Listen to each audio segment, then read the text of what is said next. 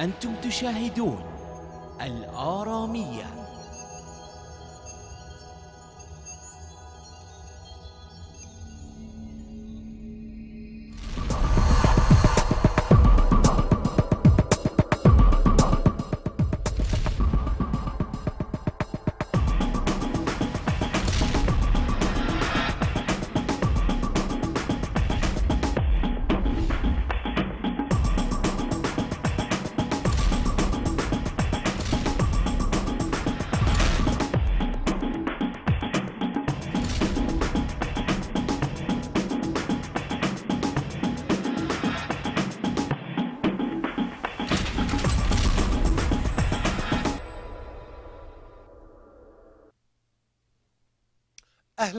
وسهلا مشاهدي الفضائية الاراميه وحلقة جديدة من برنامج أضواء على العراق.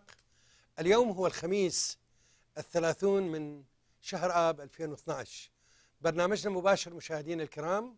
بعد قليل نفتح آه، مواد حلقة هذا المساء.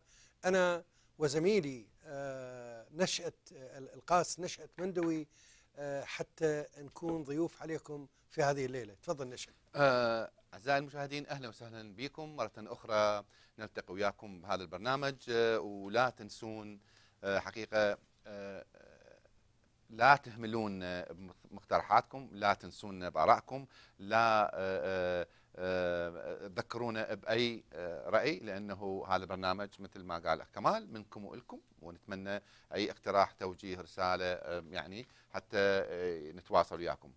أي تفضل كمال شكرا نشأت. آه، مشاهدينا الكرام حلقتنا لهذا المساء راح تكون مكونة من جزئين.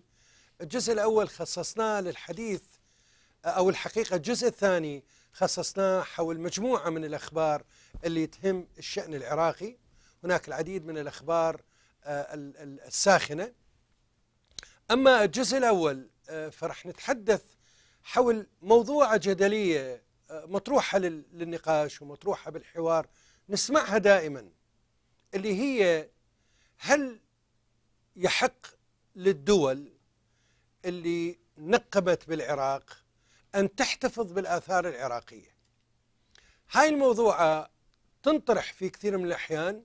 آه، بعض الكتاب يعتبرون ما قامت به هذه الدول هي السرقة ولازم ترجع الآثار العراقية اللي أخذتها آه، بعض الناس تقول لك لا آه، رح نتحدث بهذا الموضوع.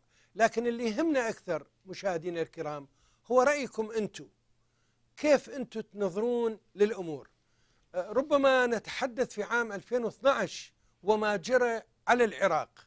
لكن حتى قبل 2012 حتى قبل 1940 1960 1980 في كل هاي المراحل التاريخية اللي مر بها العراق. آه، بالإمكان أن نتوقف أمام العديد من المحطات المهمة في هذا الشأن لأن كيف إحنا نعرف الآثار العراقية؟ آه، نعم هي ملك للعراقيين هي ملك لآبائهم وأجدادهم لكن هي جزء من الحضارة الإنسانية أيضا. كثير من الناس تتطلع يعني لما إحنا نتحدث عن الصين آه، أول وأهم إشارة لما يشار إلى الصين يشار إلى سور الصين. طيب سور الصين هو أثر صيني لكن هل هو ملك للصين فقط؟ هو ملك للبشرية. ذات الشيء لما نتحدث عن الأهرامات آه، آه، يمكن نتطرق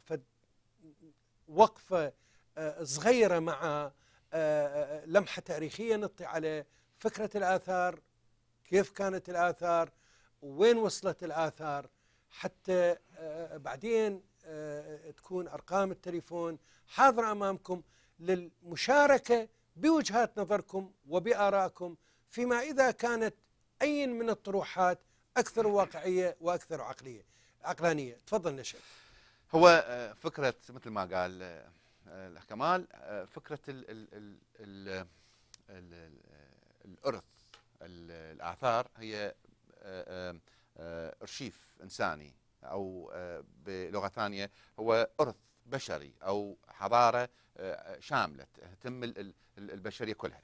ما تقتصر على دولة آه، صحيح أنه هي تنبت أو تصنع في موقع محطة أو مكان جغرافي محدد لكنه مثل ما قال لك كمان هي آه، تهم الإنسانية لأنه تمثل تطور الإنسانية جمعاء وتهم الجمعاء مثل ما قال ال- سور الصين هو يعني جغرافيا وجوده بداخل الصين بس ك ك كبناء منجز كمنجز منجز البشرية إنساني. كلها طبعا قال إن ال- نيل ارمسترونج اللي توفى قبل حوالي أسبوعين قال آه، لا أول ما وصل للقمر. قال هي خطوة بشرية داخل القمر لكنه تعني خطوة إنسانية في الأرض. يعني معناها إنه صحيح نيل أرمسترونج أمريكي والابولو هي أمريكية بس الخط... ال... ال... الإنجاز الكبير هو البشرية. البشرية. آه، حقيقة موضوع ال- ال- ال- الآثار العراقية موضوع مزدوج برايين متناقضين أحيانا يقال مثلا خلي نعطيكم فد نبذة مختصرة حتى قبل لا ندخل بالموضوع. 100 ألف موقع أكو مثبت علميا إنه آه، بالعراق موجود باثار لكنه المستغل رسميا ما يتجاوز ال 200 هذه آه، تبين لكم إيش قد آه، إحنا هاملين الآثار. هذا رقم واحد. اثنين سرق من العراق من قبل اتهام رسمي من قبل آه، آه، آه، رئيس هيئة الآثار اللي هو قيس آه، حسين رشيد قال أنه عدد ال- ال- الدول اللي سرقت آه، أو أخذت أو موجود بعدها الاثار العراقيه تقريبا 16 دولة. وبالمناسبة ذكر دولتين عربيتين هي سوريا والأردن وذكر آه، بس ما سمى أكو دولة خليجية ما سماها. ما أعرف شنو السبب. المهم تخيلوا هل 16 دولة ماخذين من عندنا 170 ألف قطعة أثرية. مهم.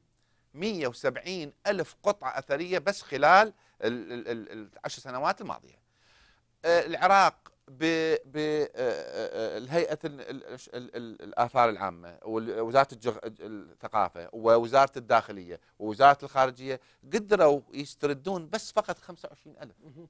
من مجموع 170 ألف فهذا طبعا رقم آه، مخجل نشأت بس آه،. آه، لما نتحدث عن الشيء اللي صار في عام 2003 مم.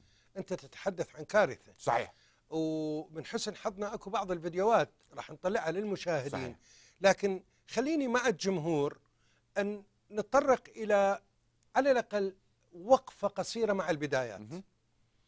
العراق تاريخ الحديث يبدأ في عام 1921 بناء بدايه الدولة بداية نعم. الدولة العراقية صحيح آه، لكن العراق هو آه، بلد قديم جدا آه، في عام 1600 آه، في عام 640 قبل الميلاد سقطت ال- ال- الدولة البابلية مهم.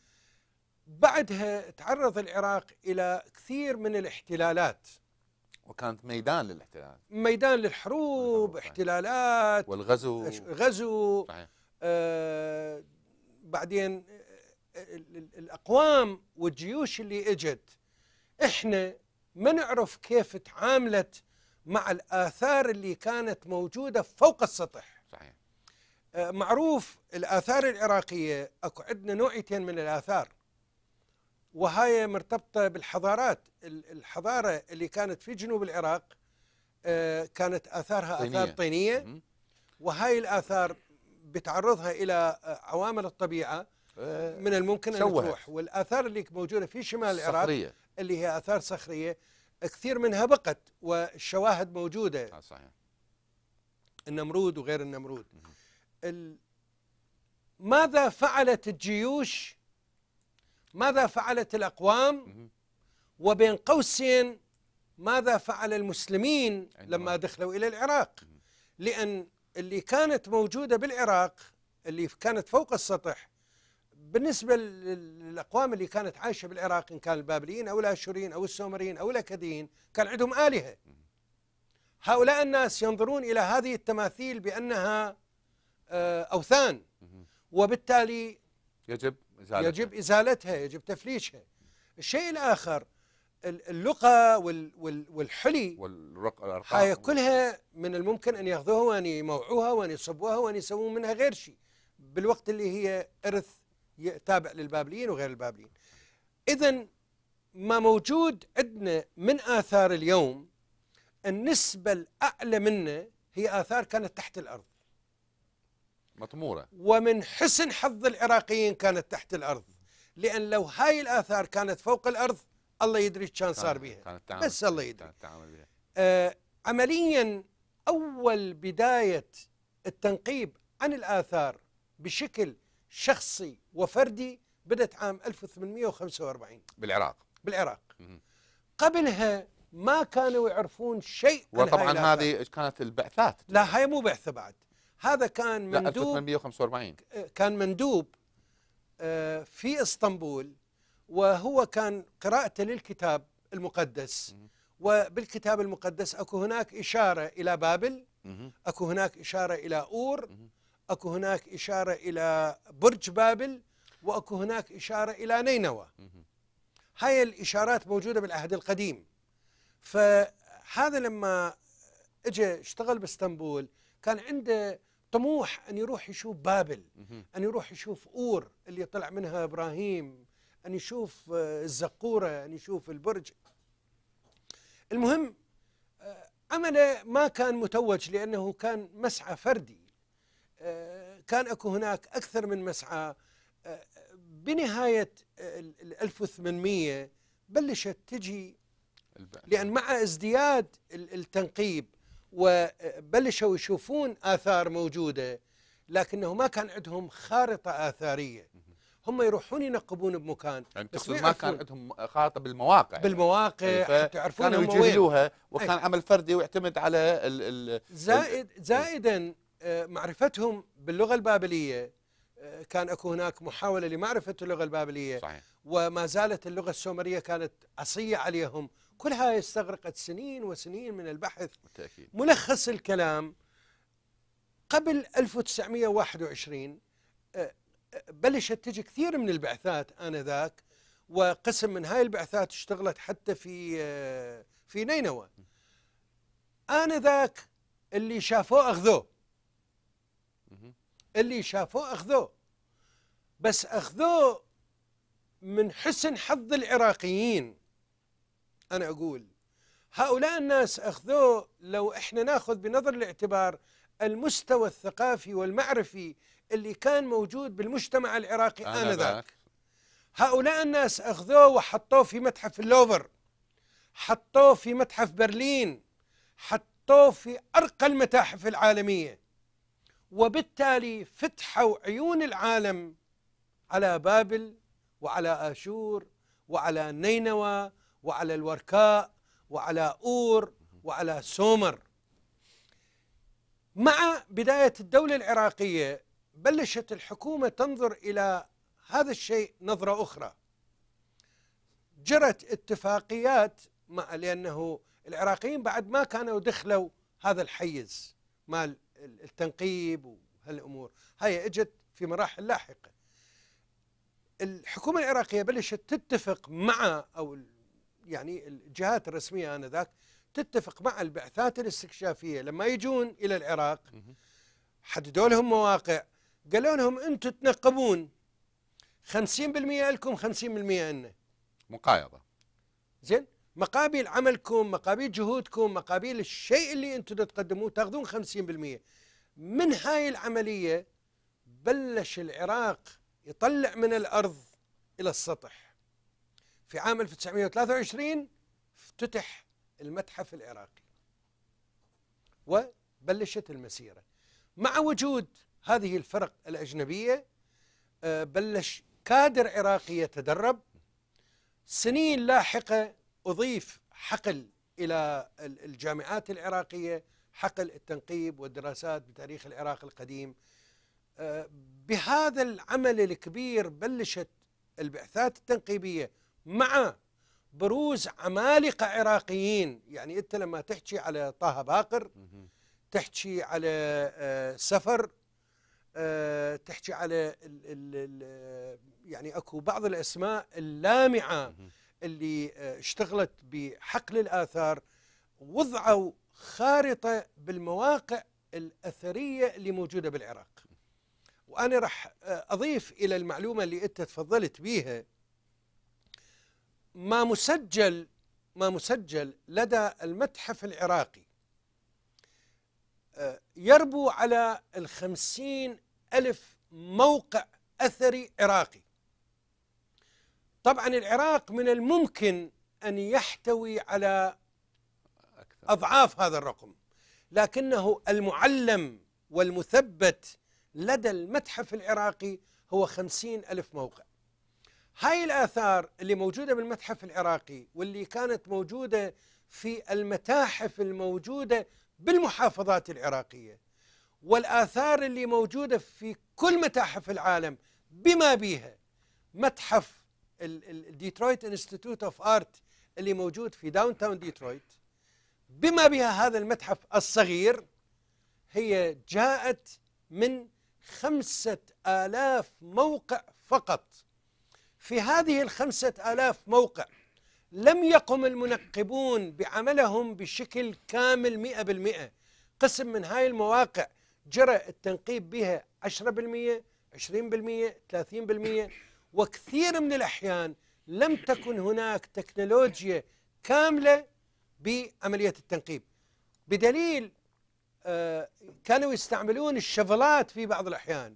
كانوا يستعملون آلات الحفر وبالتنقيب عن الآثار لا يمكن أن تستعمل آلات ثقيلة لأنه هاي كلها مطمورة تحت الأرض ومن الممكن أن تندمر من الممكن أن تتفلش. لكن نقول هذا هو تحصيل حاصل ما جرى. أكو كثير من المواقع كان المفروض أن ينزلون إلى خمس طبقات أو ست طبقات هم نقبوا في طبقة واحدة.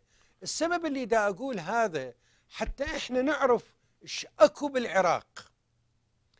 لكن لا يكفي أن نعلم ماذا يوجد من آثار في العراق. يجب أن نرفع السؤال التالي ماذا تقدم الجهات الرسمية بالعراق؟ واحد. وماذا يقدم العراقيين؟ قبل أن أدخل زميلي نشأت إلى هذا الحوار خلونا نشاهد الفيديو الأول مشاهدينا الكرام. حتى نشوف كيف العراقيين مو كلهم. حاشا على الأشراف وحاشا على المثقفين وحاشا على الوطنيين. لكن خلينا نشوف الغوغاء كيف يتعاملون مع الآثار. خلونا نشوف الفيديو الأول مشاهدينا الكرام. وقصر الخليفة المعتصم وموقع البركة وغيرها من شواهد الحضارة العباسية. ترتدها اليوم الكلاب السائبة وتتكدس فيها النفايات.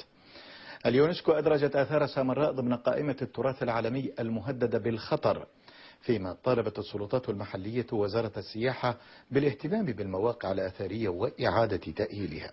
تقرير حسام الحاج. مواقع أثرية شاهدة على تاريخ مدينة يمتد إلى ألف عام.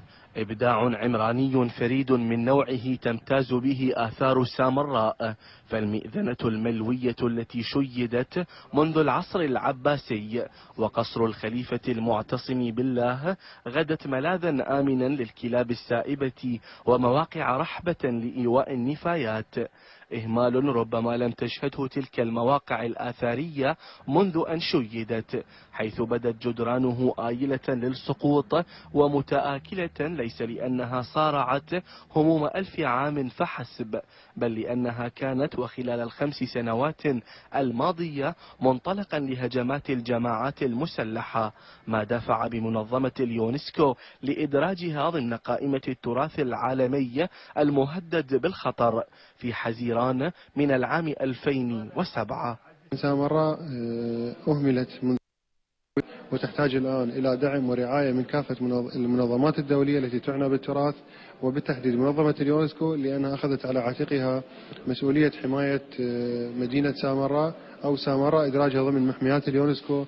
مدينة سامراء والتي أصبحت عاصمة للدولة العباسية منذ عام 221 للهجرة ولمدة 58 عاما حكم خلالها ثمانية خلفاء عباسيين وشيدت فيها قصور ومواقع ترفيهية كموقع البركة الذي يتوسط القصر العباسي وهو وحدة بنائية تحت مستوى سطح الأرض تمتاز بوجود زغارف دصية يتوسطها حوض للماء. تلك المواقع كانت قبلة للمنقبين والآثاريين الغربيين حتى عام 2003 لكنهم هجروها بعد تردي الوضع الأمني في المدينة. تعرضت آثار سامراء قسم منها إلى التخريب وقسم إلى الإهمال يعني بسبب آه، عدم إجراء أي تنقيب أو صيانة بالمنطقة. وكانت الآثار هي متنفس المدينة بالنسبة للزائرين وبالنسبة لأهالي المدينة السلطات المحلية في المدينة طالبت الجهات المعنية بالالتفات إلى المواقع الآثارية فيها وشمولها بخطط وزارة السياحة التي تهدف إلى تأهيل المواقع الآثارية والمدعومة من المنحة الإيطالية المقدمة للوزارة. فيما لفت قادة ميدانيون بأن الوضع الأمني في المدينة أصبح جاهزا لاستقطاب السائحين العرب والأجانب. قواتنا منتشرة آه، داخل المدينة وخارج المدينة إضافة إلى قيادة عمليات سامراء والآثار الأمكنة الأثارية مؤمنة بشكل كامل. وبقت فقط يعني شغلة السياح يعني فقط الزوار أن يجون يشهدون هذه الآثار العظيمة في المدينة. بعض المعنيين في المحافظة أكدوا بأن إنعاش السياحة وتأهيل الآثار في سامراء سيكون من أولويات الحكومة المحلية المقبلة. حسام الحاج الحرة. وفي الختام إليكم تذكيرا بأبرز العناوين. شكرا لكم آه، مشاهدينا الكرام. كان هذا هو ال- ال- التقرير الأول آه، عن ال- الآثار. طبعا ال- التقرير حتى هذا التقرير وللأسف آه، أكو هناك ببعض المغالطات آه، من اللي عد التقرير. آه، سامراء عمرها مو ألف سنة. سامراء بالحقيقة كانت حاضرة بابلية واسم سامراء على عكس ما يروج له البعض. لما آه، بعض الإخوان يسموها سر من رأى فعلا هي سر من رأى لكن ليس هذا هو الاسم الصحيح لها.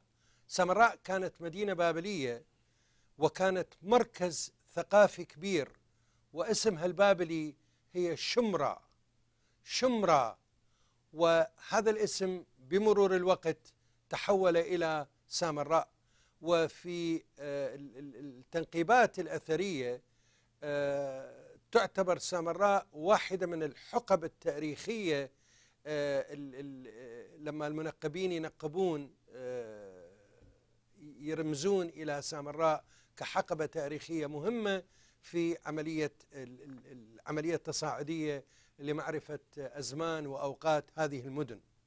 لكن هذا هو حال واحدة من الحواضر الثقافية. طبعا سامراء بها أثرين. حتى بس المواطن يعرف هذا الإهمال الحكومي هو للمواقع الأثرية لكن بها أثر ديني. هذا الأثر الديني عنده اهتمام خاص. هذا موضوع آخر مشاهدينا الكرام. لكن نحن نتحدث عن الآثار. هل هناك فعلا فهم حقيقي لهذه الآثار؟ هل هناك انتماء حقيقي لهذا الماضي اللي موجود بالعراق أم آه، آه، الجهل وصل إلى درجة حتى الإنسان ربما ما يتشرف بآبائه وأجداده؟ هذا اللي راح نتحدث حتى بعدين نوصل إلى نتيجة لما الواحد يطالب الدول يقول لهم تعالوا رجعوا آثارنا يرجعوها وين؟ وبيد من وإلمن يرجعوها. تفضل نشر هو بالضبط آه، سبقتني بالسؤال آه، قد يتساءل ال- الأخوة المشاهدين شنو فكرة هذا الموضوع؟ يعني طبعا بالتأكيد حتى هذا سؤال مشروع. الغاية من هذا المشروع آه، هذا الطرح. يعني أنا متأكد أكو بيكم يقول هل نفتهم الآثار شنو وإحنا المشاهدين وين مكاننا بهذا الموضوع؟ الموضوع هو مثل ما قال كمال أكو آثار تخصنا وتخص تاريخنا. وأكو آه، آه، طريقتين للحفاظ على هذا الأرث. اللي هذا اللي هو طبعا كلنا ننتمي له. أو هو انتماء إنساني بالموضوع. هل أنت هل أنت كعراقي أنت تفضل إنه تبقى هذه الآثار مثل ما موجودة بال بال بال بالرمل وبالتراب و- ومع الكلاب ومع السائبة. الكلاب مثل ما شفنا أو أنت كعراقي تتمنى تروح المتحف مثل متحف اللوفر وتشوف ال- ال- التحفة العراقية الموجودة مؤنقة معطرة مرتبة محطية محمية ومكتوبة بخط جميل اللافتة صغيره عليها آثار عراقية أنت تقدر تباهى بها. السؤال هنا ينطرح لك كمشاهد.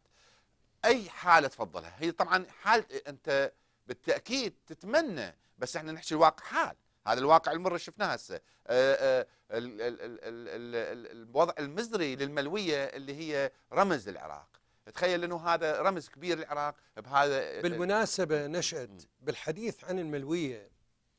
طبعا آه، المهندس اللي صمم هذه الملوية رغم الكتابات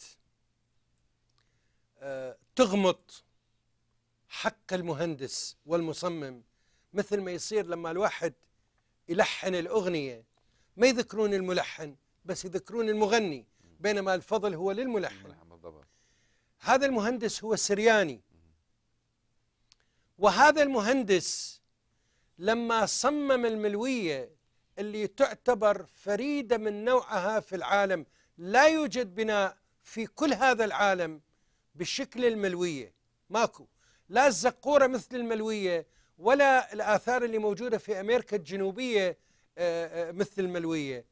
هذا ال- ال- البناء هو تيمنا من هذا المهندس ابن وادي الرافدين تيمنا ببرج بابل.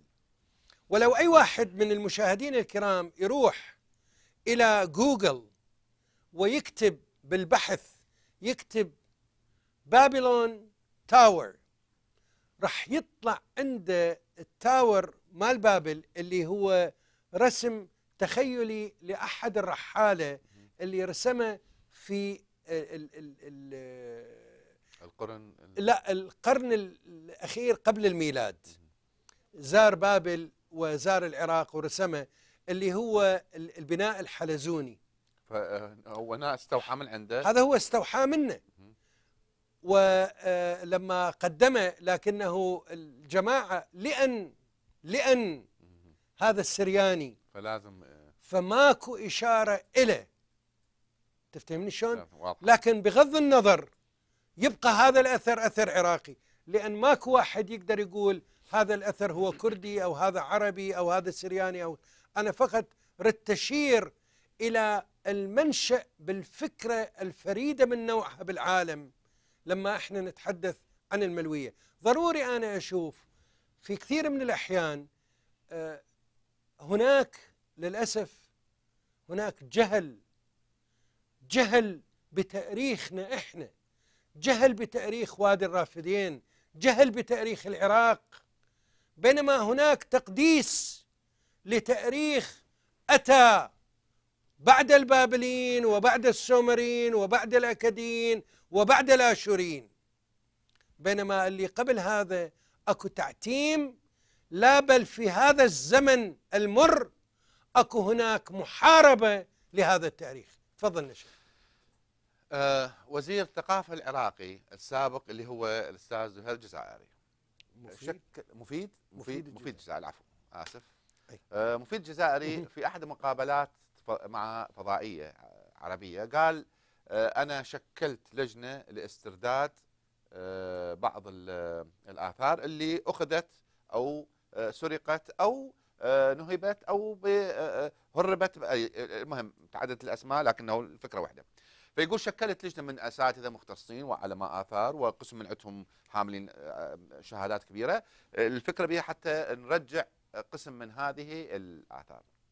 ال- ال- الغريبة بهذا المشروع والأستاذ مفيد جزائري حي يرزق هو يعني أكيد يسمع هذا ال- الكلام مالتي. يقول أنا آه، شكلنا لجنة وقمنا نسترد قسم من هذه المخطوطات. وإن يقول وإن لما كنا نطالب الدول ال- اللي عندها هالآثار ما تنطينا ال- الشغلات المهمة بضغط حتى يقول استخدمنا ضغط الأمم المتحدة واليونسكو وكذا حتى يرجعونا الآثار. يقول كل الضغط اللي كنا نستخدمه يرجعونا بعض الأحيان ال- ال- الآثار اللي مو مهمة ومع هذا كنا نتقبلها. الحد الآن الموضوع طبيعي يعني ما أكو إشكال عليه. بس الإشكال وين؟ يقول أنا قمت ألاحظ يقول إحنا نبقى أسبوعين ثلاث ساعات نستخدم حتى السفارات والضغط الدبلوماسي والضغط الدولي والامم المتحدة في سبيل إرجاع قطعتين أو ثلاثة على مود نرجعهم للمتحف. يقول تتهرب من العراق بنفس الوقت بقد أضعاف أضعاف. أضعاف أضعاف. فيقول إحنا آه، نريد نلم الحضارة نجيبها بداخل المتحف العراقي. بينما أكو يعني يقول في في جانب ثاني في آه، آه، آه، جهة ثانية من من الموضوع. أكو أشخاص ياخذون هذه يهربونها ويقول مو بس يهربوها الفكرة يقول يهشموها ويحطموها ويخلوها بمكانات المهم حتى لو توصل نص قيمتها. الفكرة بها إنه يقول الفرق ما بين إحنا اللي قاعد نسويه وما بين الناس. الاكتشاف ال- ال- الغريب بهالموضوع شنو هو؟ لحد الآن ماكو غرابة. يعني أنا اتصور عادية. الغرابة بالموضوع. الغرابة يقول لما اكتش... لما آه، توصلنا إلى أكو عصابات موجودة بداخل العراق آه، آه، آه، هاي العصابات مهمتها تهرب الآثار إلى خارج العراق. نشأت. خليها هاي الفكرة ببالك.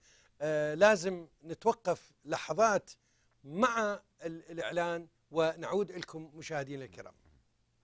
يا بستنجيك مخليتا بستانو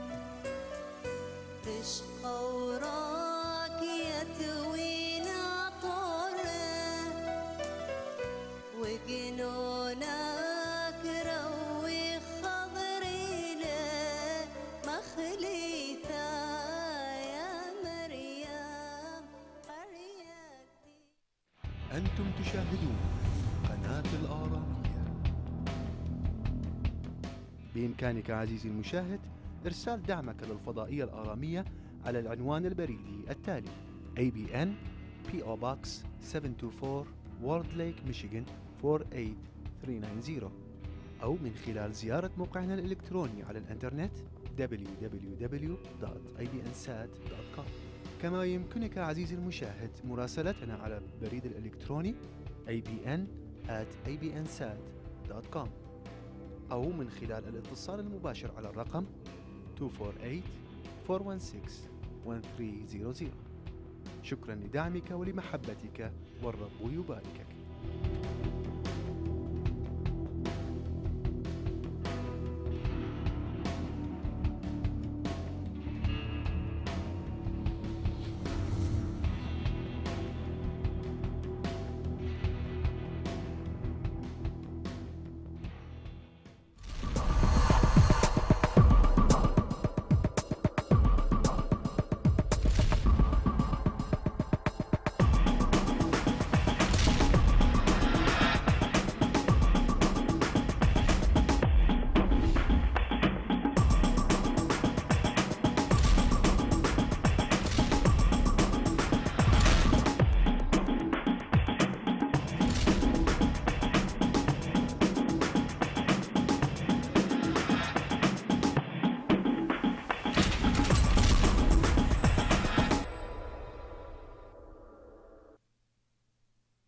أهلا بكم مشاهدينا الكرام ونحن نكمل ما تبقى من حلقة هذا المساء.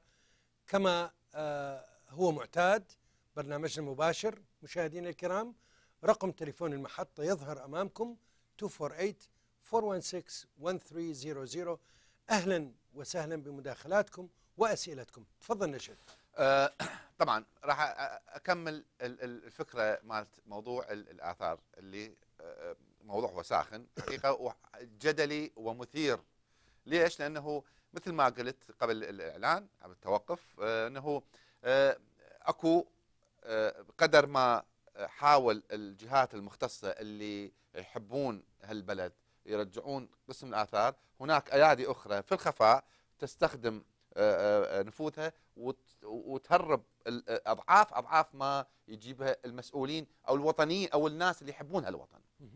لحد الآن أكو مفارقة ثانية راح تجي بالموضوع اللي هي لما آه، آه، آه، درسوا الموضوع أو أو تبعوا هال- هالعصابات كشفوا أو أو لزموا أكثر من حوالي ثلاث أربع عصابات هي باختصاصها تهرب هالآثار.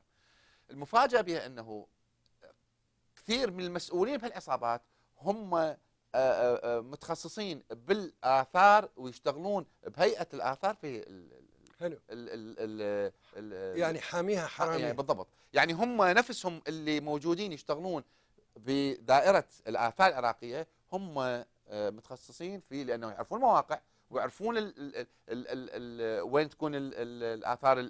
الثمينه والدسمه فتخيلوا تخيل هذا الوطن الآثار اللي بي آه، يعني آه، آه، هل أكو بعض من العراقيين يتعاملون وياه تعامل سوقي تعامل يعني كأنه بضاعة ولا كأنه هذا ال ال الأرض اللي أنجبت هذا الاثر هو هذا خا هو ي- ي- ي- ي- ي- يخص كل العالم يخص. كل البشرية.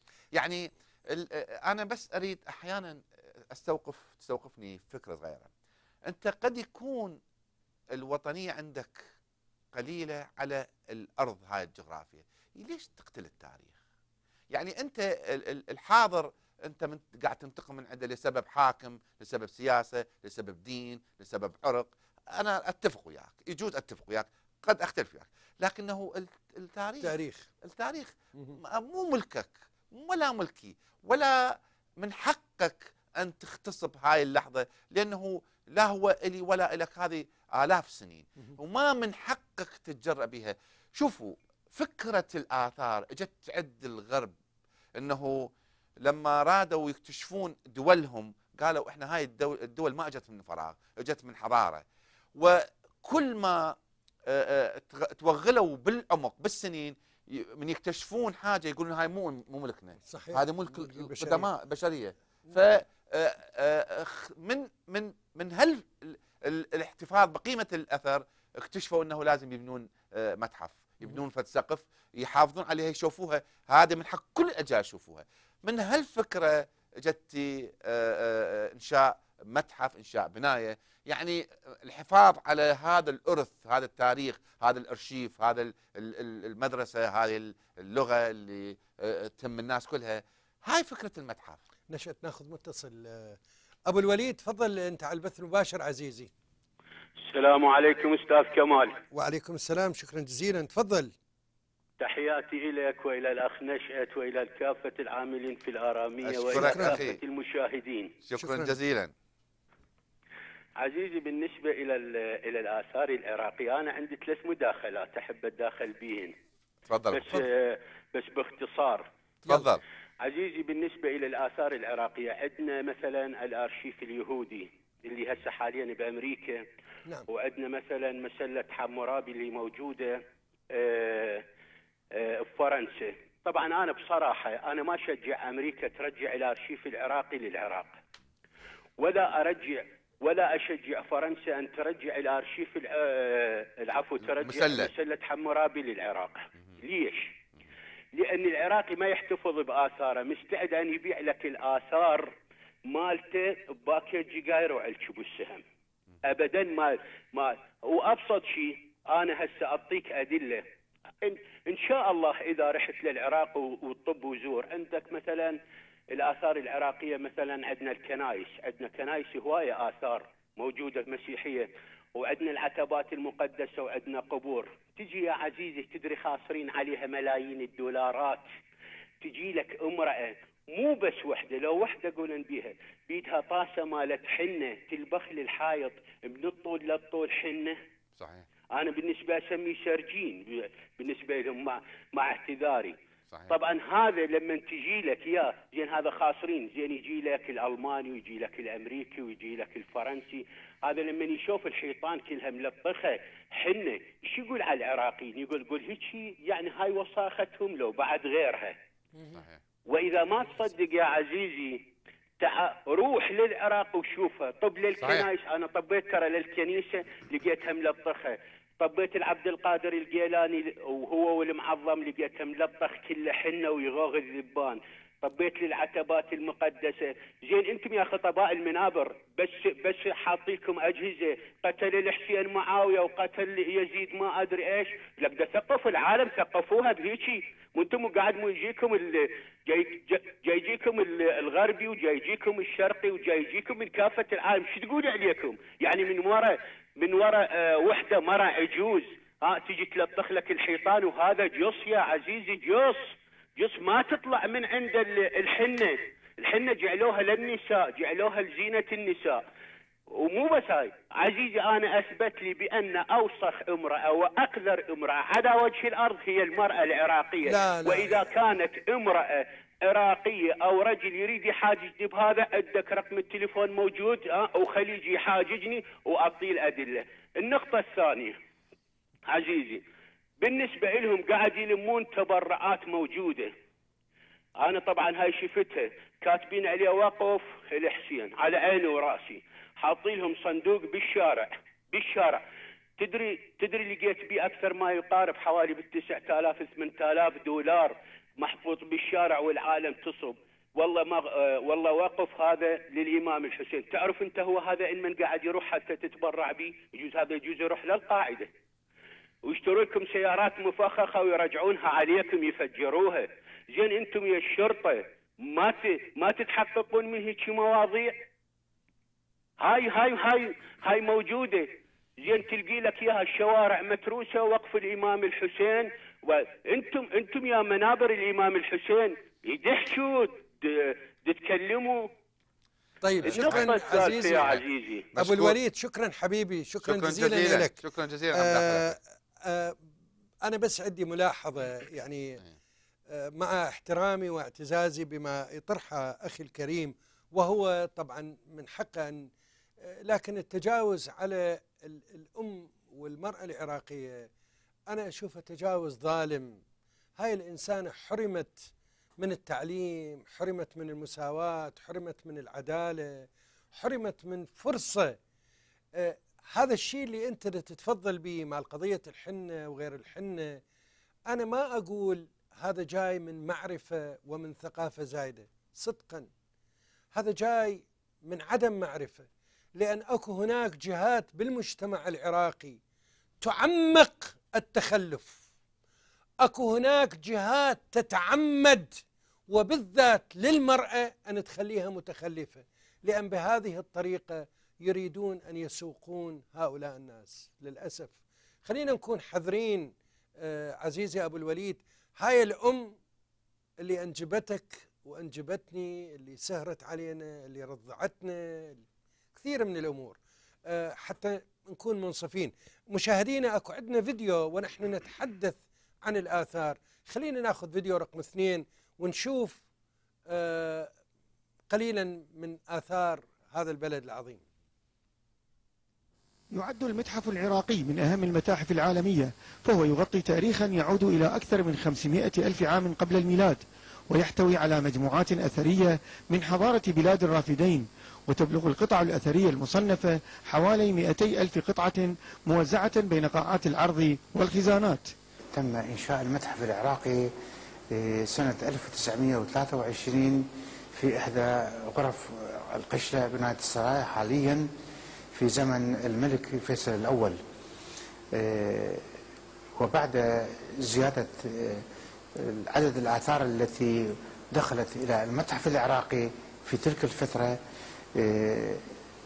تم تحويل البناية إلى آه، بناية ثانية الذي آه، التي حاليا آه، متحف البغدادي سنة 1936 تعرض المتحف للنهب والسلب والتهريب لاحقا بعد حالة الفوضى عام 2003 فكان ما حدث بالمتحف أشبه بالكارثة التاريخية على الرغم من أن العراق استعاد بعض القطع المسروقة من دول الجوار إلا أن العائد منها لا يشكل نسبة إلى القطع التي سرقت ولم تعد. الآثار اللي سرقت من المتحف العراقي واستعديناها من خارج العراق من دول الجوار أو من دول أجنبية. دول جوار مثل عمان وسوريا وأجنبية أيضا مثل إيطاليا وأمريكا والبيرو وغيرها من الدول. كانت سرقة المتحف العراقي آه، جريمة آه، كبرى في تاريخ المتاحف العالمية. آه، لكن بجهد ال- الحكومات في ما بعد ال- آه، 2003 تم إعادة تأهيل عدد كبير من قاعات المتحف العراقي واستعادة آثار آه، المس- المسروقة سواء من داخل العراق أو من خارج العراق. العراقيون مشغولون بحاضرهم أكثر من ماضيهم. حقيقة لمسناها ونحن نرى خلو قاعات المتحف من الزوار إلا ما ندر على الرغم من أنه يقع في قلب بغداد. رعد البصري قناة الفيحاء بغداد. هذا كان آه، فيديو آه، أيضا يتحدث عن المأساة اللي جرت في عام 2003 والتخريب. طبعا لل- للمشاهد الكريم هذه ليست المرة الأولى التي يتعرض فيها المتحف العراقي إلى السرقة. تعرضت المتاحف العراقية إلى السرقة في مراحل سابقة أيضا وكانت أبرزها في عام 1991 إبان ما سمي آنذاك بالانتفاضة الشعبانية أو بانتفاضة آذار. لما سقطت العديد من المحافظات بيد المنتفضين أيضا كان أكو هناك اللصوص آه، أبناء الظلام اللي أيضا آه، توجهوا إلى هاي المتاحف اللي كانت موجودة بالمحافظات وسرقوا العديد من اللقى ناهيك عن السرقات اللي كانت تجري داخل المواقع الأثرية اللي موجودة إضافة إلى ما أشيع في التسعينيات إبان الحصار على العراق من أن عدي كان يرأس مافيات لتهريب قطع الآثار المهمة إلى التجار في الأردن ومقايضتها مقابل الدولارات. وأنا شخصيا ما اطلعت على وثيقة رسمية بهذا الأمر. لكن هذا ما أشيع آنذاك. لا أدري إن كانت انتقاما من عدي أم إن كان واقعة حقيقية. هذا التاريخ ربما يكشفها. نشأت كان عندك تعليق؟ هي تفضل حقيقة. كان عندي خبر هو. والخبر حقيقة اجى تزامنا مع ما بث الفيديو إنه هناك سرقات وما ما آه، عقب عليه الاخ كمال إنه هاي السرقات السرقات اللي تمت لشحن هذه الآثار العراقية خارج الجسد العراقي. أكو خبر حديث جدا ويتعلق بالحكومة الآن. الخبر. راح آه، آه، أقرأ لكم مثل ما وصلني بالضبط. آه، كشفت منظمة عن قيام أجهزة الأمن البريطانية بضبط مقتنيات أثرية عراقية وقام بتهريبها إلى لندن مسؤول عراقي رفيع المستوى. ونقلت المنظمة عن مصدر دبلوماسي مسؤول ومطلع في وزارة الخارجية قوله في يوم السبت في يوم السبت المصادف 5 آيار 2012 اللي ما صار يعني قريب. اعترضت سلطات الجمارك في مطار هيثرو في المحطة الجوية رقم أربعة. شحنة آتية من دولة الإمارات العربية المتحدة مرسلة من قبل الملحقية التجارية العراقية. هذه الشحنة مرسلة باسم وزير التجارة السابق عبد الفلاح السوداني. ومعنونة إليه لهذه الشحنة حسب بوليصة الشحن هي مؤس... الجهة المع- المعنونة لها هي مؤسسة دار الإسلام في لندن. وطبعا هذه المؤسسة بين قوسين مقر خاص لحزب الدعوة جناح المالكي. فتخيلوا ال ال ال ال ال ال هاي ال ال السرقة الجديدة. ويقول رجال الجمارك في مطار هيثرو شكوا في هذه الشحنة. والتي كانت عبارة عن انتبهوا اللقطة. والتي كانت عبارة عن قطع أثاث منزلية حسب ما موجودة في موجود في. بوليسة الشحن. وبعد عملية الفحص والتفتيش الدقيق والتأكد تبين لدى رجال الجمارك في المطار أن هذه الشحنة مخبأ فيها وبطريقة فنية مبتكرة داخل قطع الأثاث كتب تراثية قديمة ومخطوطات نادرة جدا وآثار واسطوانات بابلية وسومرية. وقد عثر كذلك رجال الجمارك بعد أن تم فتح جميع قطع الأثاث على أرشيف من الوثائق ومخطوطات عثمانية قديمة جدا خاصة بالعهد العثماني الهاشمي الخاص بالعراق.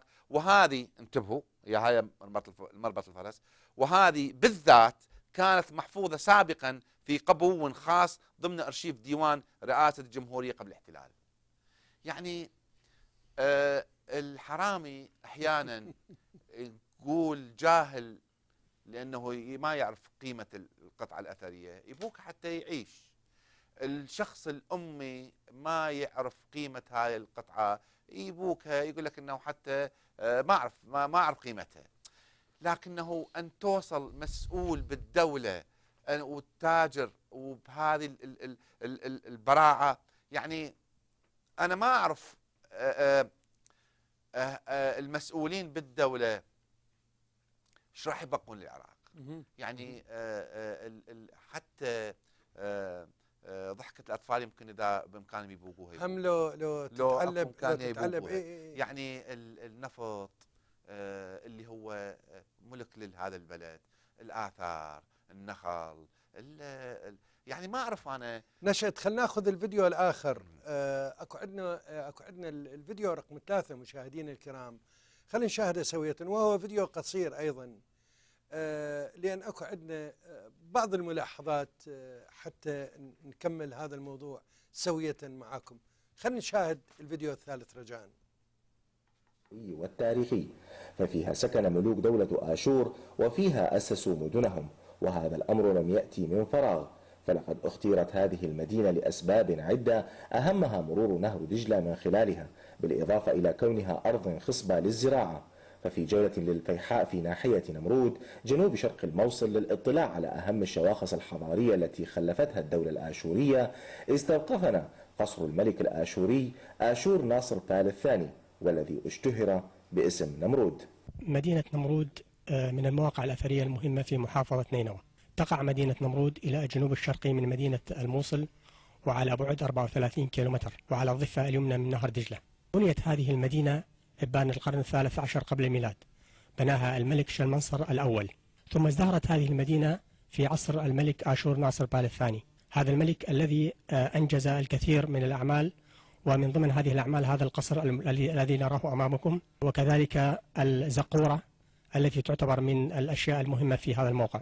القصر الآشوري والذي يعتبر اليوم من أهم الشواخص الحضارية الذي يحدثنا عن حقبة تاريخية يخبرنا في الوقت ذاته كم أنه مهمل ومهدد بالانهيار الكامل بسبب العوامل الجوية التي أصابت الكثير من أجزائه والعديد من المنحوتات الأثرية الرائعة بالإضافة إلى أعمال الصيانة التي تجري عليه الآن وبطرق عشوائية غير مدروسة لا تتناسب بالمرة.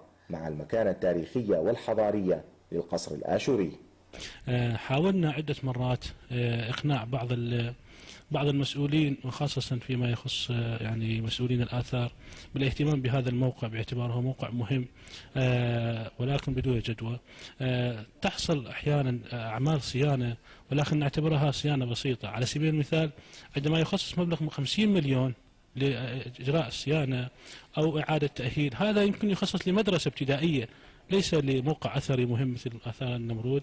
آه، أذكر في سنة 2007 حضرنا في بغداد وكان من باب الصدفة في فندق الرشيد الرشيد التقيت شخصيا آه، بمعالي وزير ال- السياحة والآثار آه، وتكلمت له عن هذا الموضوع ولكن بدون جدوى. السبب هو قلة اهتمام أو أعتبره إهمال. يعني السيد الوزير في وقتها شخصيا قال لي بأن الوضع الأمني لا يساعد. طيب نحن ما ما نقصد أنه السيد الوزير بنفسه يحضر. كان ممكن يبعث ممثل من قبل سيادته يحضر بالموقع ويخصص مبالغ فيه وهو موضوع مادي لا أكثر. نعم آه، مشاهدينا الكرام آه، ما يجري بالحقيقة لا يمكن اعتباره قلة معرفة ولا يمكن اعتباره يعني آه، ناتج عن غباء أو غيرها. أنا أتصور وبقناعة أتحدث. ما يجري هو متعمد. هناك قوى سياسية عراقية تريد أن تلغي تأريخ العراق ما قبل الإسلام. هذه القوى تعمل بكل ما أوتيت من قوة ومن جبروت ومن مال على هذا العمل. هذه القوى يعني أصبحت واضحة المعالم مشاهدينا لأن المشهد العراقي وفي أكثر من مرة أقول لا يتحمل اللون الرصاصي. لا نخادع نفسنا مشاهدينا الكرام. لا نضحك لأنه ما رح يجي ربما يكون أسوأ. خلونا في بداية هاي المصيبة أن نوقف وأن نشوف ما الذي يحصل في هذا الوطن. هؤلاء الناس مستعدين ما أدري يعني حتى هناك مشاريع للنجف عاصمة الثقافة الإسلامية. خصص لها ملايين الدولارات وخصص لها مئات السراق. وبالتالي مشروع النجف عاصمة الثقافة الإسلامية 2012 ألغي لأنه طلعت السرقات ما أدري لي وين.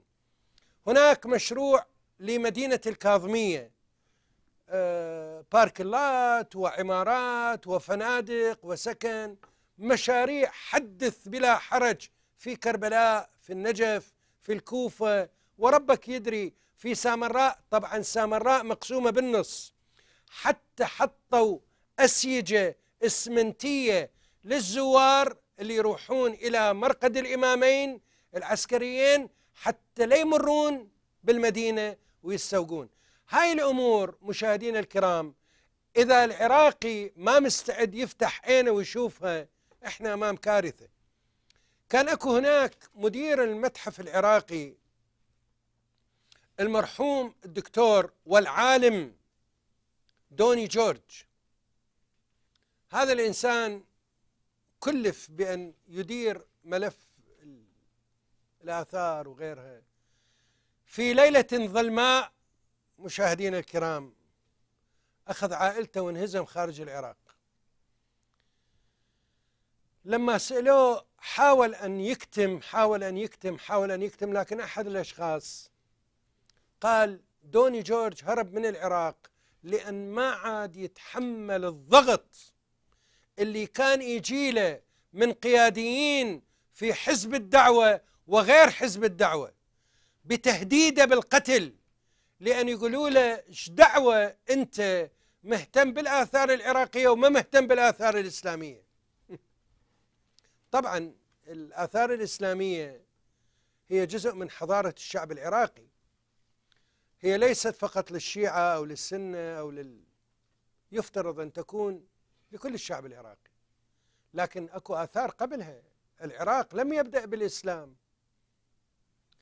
وإذا العراقي يريد ينكر ما كان قبل الإسلام إحنا أمام مشهد كل الصعب مشاهدينا الكرام. هذا الوطن هسه قدامكم طلع. آه التاريخ اللي موجود به اللي موجود بالمتحف العراقي ما لا يقل عن 500 ألف سنة. هاي الجزيرة العربية اللي يفتخرون هواية جماعة يقولون إحنا أصلنا من الجزيرة وأصلنا تروحوا طلعوا لي أنتم طابوقة عمرها 2000 3000 سنة.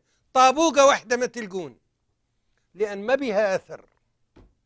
تعالوا إلى هذا الوطن العزيز وافتخروا بنسبكم. أما للناس اللي إجت ويا الغزوات ويا ال... هاي الشغلات مو مشكلة إجت واستوطنت وعاشت وتربعت وغيرها مو إشكال. لكنه مو على حساب أبناء الوطن الأصليين. مشاهدينا الكرام آه ننتهي من هذه الفقرة وربما نتحدث آه بها في مجالات أخرى لأن أمامنا أيضا الشق الثاني وهو الشق المتعلق بالوضع السياسي العراقي. نتوقف قليلا مع الإعلان ونعود لكم مشاهدينا الكرام.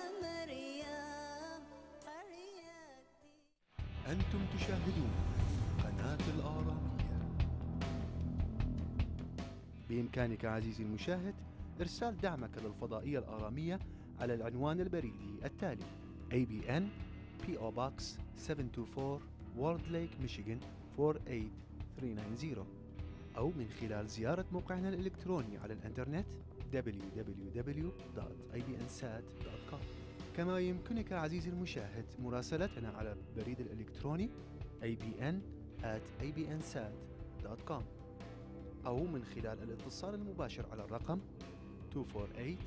248-416-1300 شكرا لدعمك ولمحبتك والرب يباركك.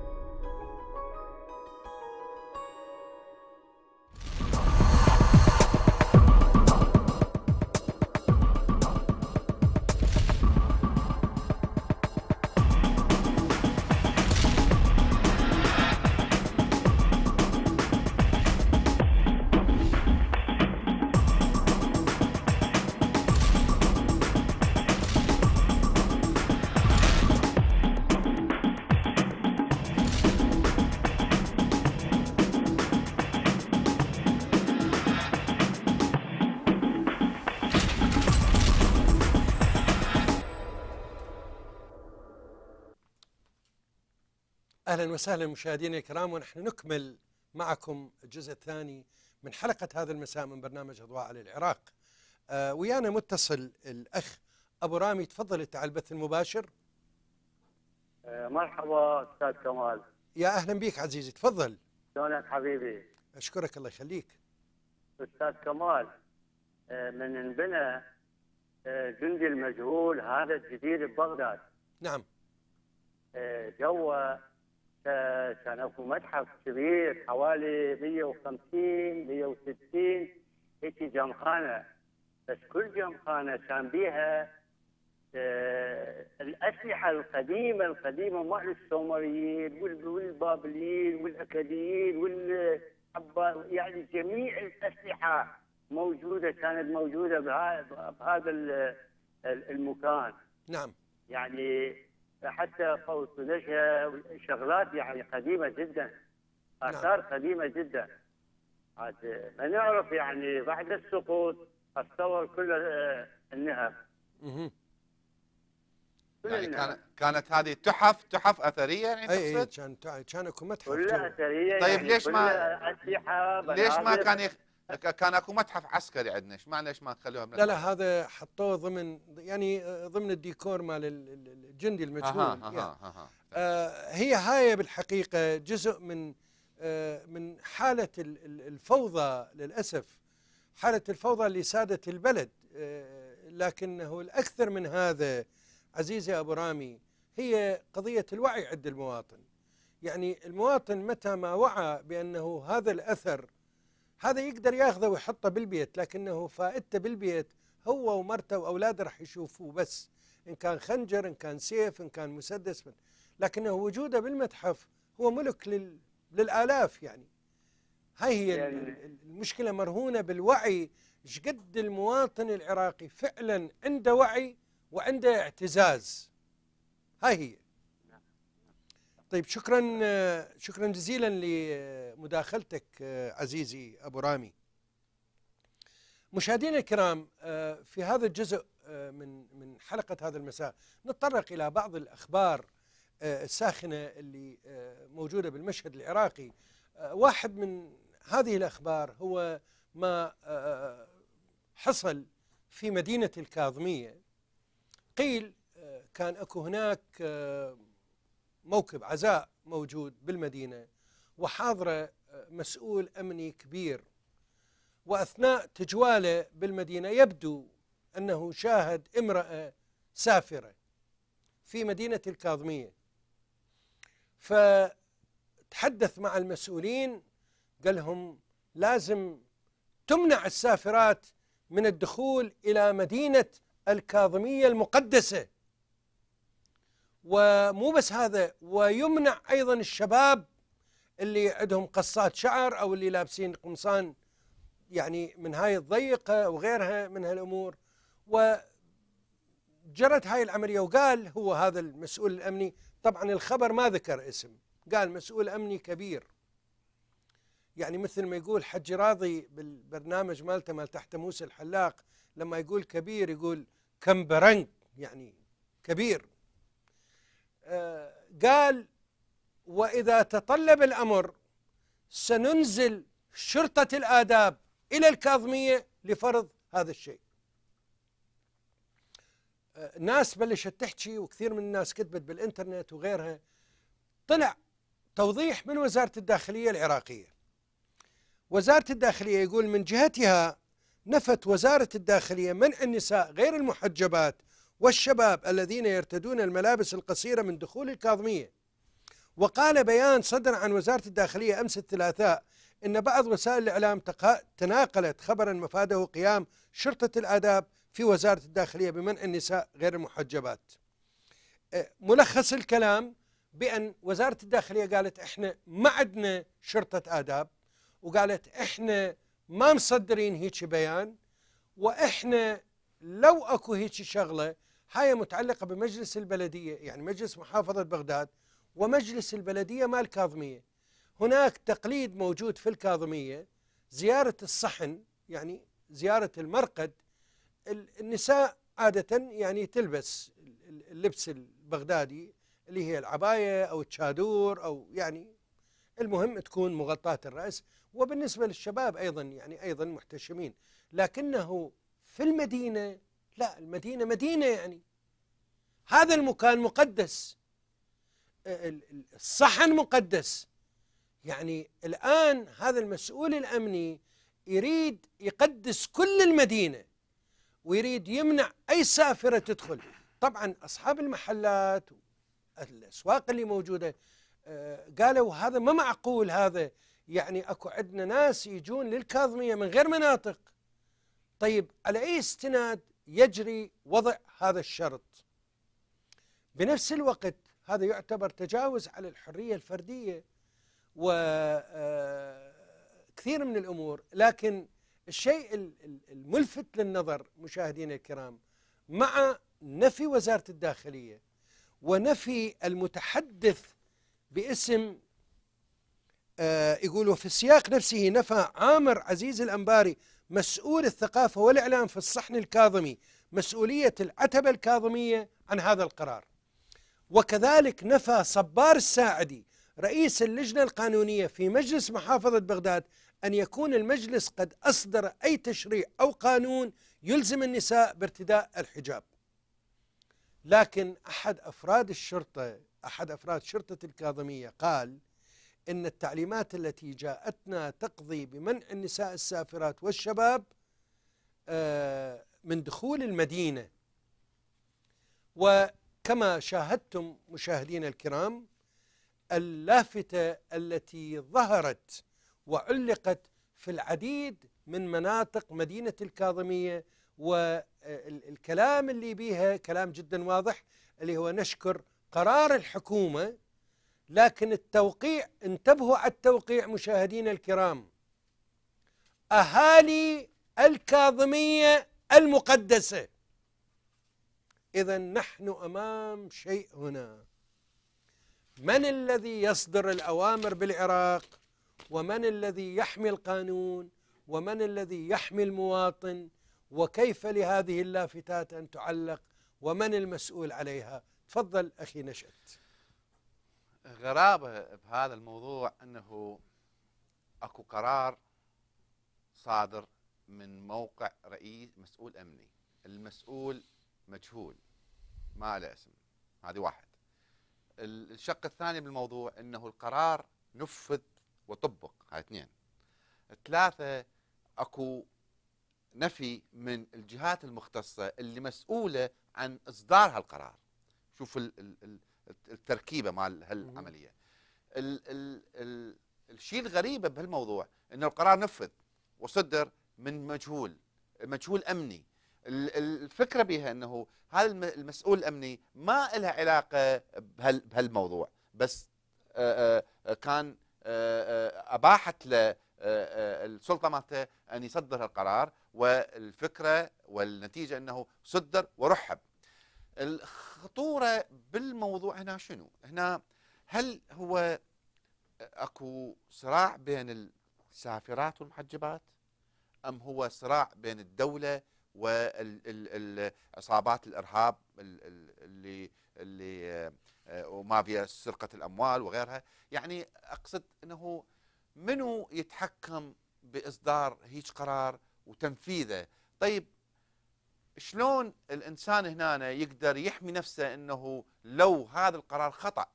يعني وفعلا هو بجانب 80% من هالموضوع خطأ. ليش؟ لأن أول قرار فردي هذه وحدة مسؤول أمني ما مذكور اسمه ثلاثة الدولة العراقية بمؤسساتها تنفي إنه هذا القرار طالع. إي أدري. طيب هنا عملية استرجاع القرار استرجاع حقوق المدينة اللي موجودة اللي إنه تريد تكشف عن هويتها اللي هي آه، مثل ما قال كمال أكو مكان جغرافي بها مقدس هذا ممكن تراعي شعور ال ال ال ال المكان وتنطيه أهمية. بس أن تضفي كلمة آه، قدسية على ال- الكاظمية، المدينة كلها. فهذا طبعا آه، أنا متأكد إنه أكو اعتراض حتى من المواطن.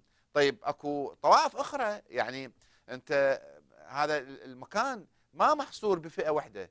إحنا نقول إنه هل ال- الجزء الصغير الموجود ال- ال- المرقد هذا له قدسيته صحيح لكنه أكو شوارع وأكو أسواق وأكو تبضع وأكو آه، آه، مكانات يروحوا لها. مو بس آه، الأخوة المسلمين أكو أخوة مسيحيين أكو مندائيين أكو يزيديين. طيب هنا صار اعتراض زين هسه هم راح نوصل وياكم إنه هالقرار إحنا وياكم نوصل نتوصل إنه هالقرار خطأ. طيب. رجعوه. يعني آه، الشخص المسؤول الأمني لازم يحاسب غير أكو. طيب إذا ال- الجهات المعنية من وزارة الداخلية محافظ بغداد ال- الإدارة المحلية رفضت أو أدانت أو شجبت هالقرار. طيب. المسؤول الأمني يحاسب حتى مره ثانية لا تتكرر. زين هذه وحدة. القرار آه، هاي اللافتة الموجودة غير يتحاسب بها الشخص اللي ع- آه، علقها. كتبها وعلقها لأنه هذه آه، آه، سبق صحفي سبق إعلامي يعني آه، القرار آه، صدر وصار واقع حال. هذا هنا آه، سابقة خطيرة. أنتم لازم حتى لا تتكرر. هذا الشخص ال- لازم نعرف منو هذا المسؤول الامني وشنو درجته وعلى أساس صدر وبعدين أكو حتى نعرف إنه هل يخول لهيج مسؤول أمني يصدر قرار مو هذا باكر تطلع ببغداد. يعني يطلع بكركوك واحد قال إنه كركوك مقدسة. ويجونا أربع خمسة يكتبون لافتات آه، نحرم على البقية لأنه كركوك مقدسة. هذه العملية ما تعرفون إنه إلى وين راح تجرنا؟ زين طيب وهذه بعدين آه، ال- الأبعاد ال- ال- النفسيه لها. إحنا هو مو يومية ننتظر واحد مو مسؤوليته يطلع نشأت آه، أنا اللي أتصور آه، ال- ال- الفكرة من هاي العملية. بالحقيقة هناك جهات حكومية تعمل خلف الستار. هذه الجهات لها أجندات يعني الأسل... الأحزاب الإسلامية اللي موجودة بالعراق ما قاعدة لخدمة الشعب. هاي. مسألة معروفة. صحيح. وإلا المواطن العراقي بعد مرور تسع سنوات وهاي الميزانيات ضخمه أض... شنو الضخمة؟ هاي الميزانيات الفلكية. والمواطن العراقي بالضبط. هذا وضعهم يعني آه، ال- ال- الإخوان ما أتصور هم بعيدين عن الفضائيات العراقية ويشوفون المشهد. العراق اليوم ماكو شك بأن 99% من نفوسهم إسلام. ويمكن إسلام أكثر من الإسلام. الأئمة والسماوات كلها مدفونة بالعراق. والصلوات مالتهم وكل هاي موجودة. شو تريدون من هالمواطن بعد؟ يا أخي قدموا له خدمات قدموا له كهرباء مثل وادم. شلاحقين النسوان. أه، أحد الكتاب وارد بدر السالم هذا قاس حكى فت كلمة جميلة جدا. يقول عورة الوطن في أمنه المنتهك وليس في نسائه العظيمات. فليعلم حيف حيف عن النسوان اللي ولدت هاي النكرات اللي دا تحكم بالعراق اليوم. أنا كنت أتمنى لو هاي المرأة اللي ولدت هذا المسؤول وتباوع ابنها إيش يخربط وإيش يسوي وشلون يحللون البوق وشلون يحللون النهب وشلون يحللون الشهادات المزورة. لاحقين النسوان لازم تتحجب ولازم تمشي هالشكل ولازم تلبس هذا الزي الأسود القاتل يلا ذاك الوقت ترتاحون ويلا ذاك الوقت ضميركم يرتاح. هو بهاي الطريقة تطبقوها؟ بهاي الطريقة تخافون من ربكم؟ دباعوا أنتم على الأيتام وباعوا على الفقراء باعوا على ذول الناس اللي تعيش في بيوت لا تليق حتى بالحيوانات. بهذا أرضوا ربكم وبهذا أرضوا دينكم. مو تلحقون الناس وتطبقون هذا الأسلوب الهمجي هذا الأسلوب الغريب على العراق. هذا العراق بكل هاي المقدسات اللي موجودة. هاي بالمناسبة مو أنتم بنيتوها ولا أنتم اللي جبتوها. أنتم أعماركم 30 40 50 سنة. حزب الدعوة تأسس بالستينيات. هاي الأئمة موجودة منذ مئات السنين. هذا الشعب العراقي قام وائتلف وعاشوا وكل شيء مشوا. ما شافوا هاي ال- ال- الطائفية المقيتة هذا المرض اللي أنتم تريدون تدخلوه بالمجتمع وبالشعب العراقي.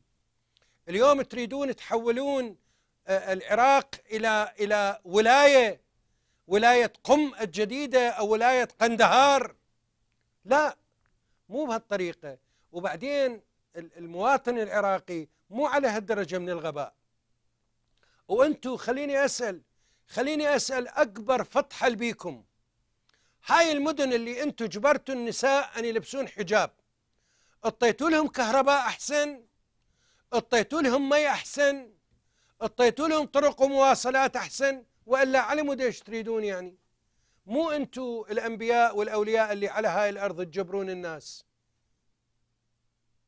ال- المصيبة مشاهدينا الكرام هناك ناس تعمل وأنا شخصيا في أكثر من مرة أحاول أقرب المشهد إلى المواطن العراقي. إجبار الفتيات بالمدارس على ارتداء الحجاب. فصل الإناث عن الذكور في العديد من الجامعات. فصلهم الآن في الدوائر الرسمية. التعدي على حرية المواطن العراقي وخاصة النساء. كل هاي الأمور لازم تنتبهون أين تتجه؟ وما هو مشروع وما هو المشروع الخفي للأحزاب الإسلامية العراقية؟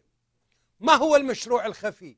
مشاهدينا الكرام انتبهوا أكو هناك مشروع لفرض أسلمة الدولة العراقية. الدستور يقول دين الدولة الرسمي هو الإسلام. آمنت بالله منا المليون سنة. والتشريعات لازم تراعي ويابا ما يخالف. مو مشكلة أنتوا الأغلبية وعلى راحتكم. لكنه اليوم أكو مشروع المحكمة الدستورية المحكمة الاتحادية.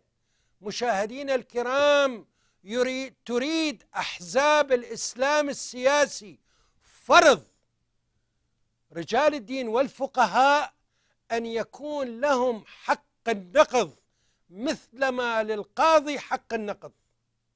وبالتالي أنتم سويتوا حولتوا ال supreme court القضاء العراقي إلى مؤسسة دينية. هذا يقعد باكر عقبة يقول لك هذا القانون ما أريده هذا يخالف. إيش راح تسوي ذاك الوقت؟ عند من تروح. تروح يم بوش مرة تلخ تقول تعال خلصنا من هذولا. كل العالم إجالكم وكل العالم كان مستعد أن يساعدكم حتى تتخلصون من آثار الدكتاتورية وآثار صدام وآثار الحكومات الغابرة. لكن وين أنتم ومن اللي راح يباوع عليكم؟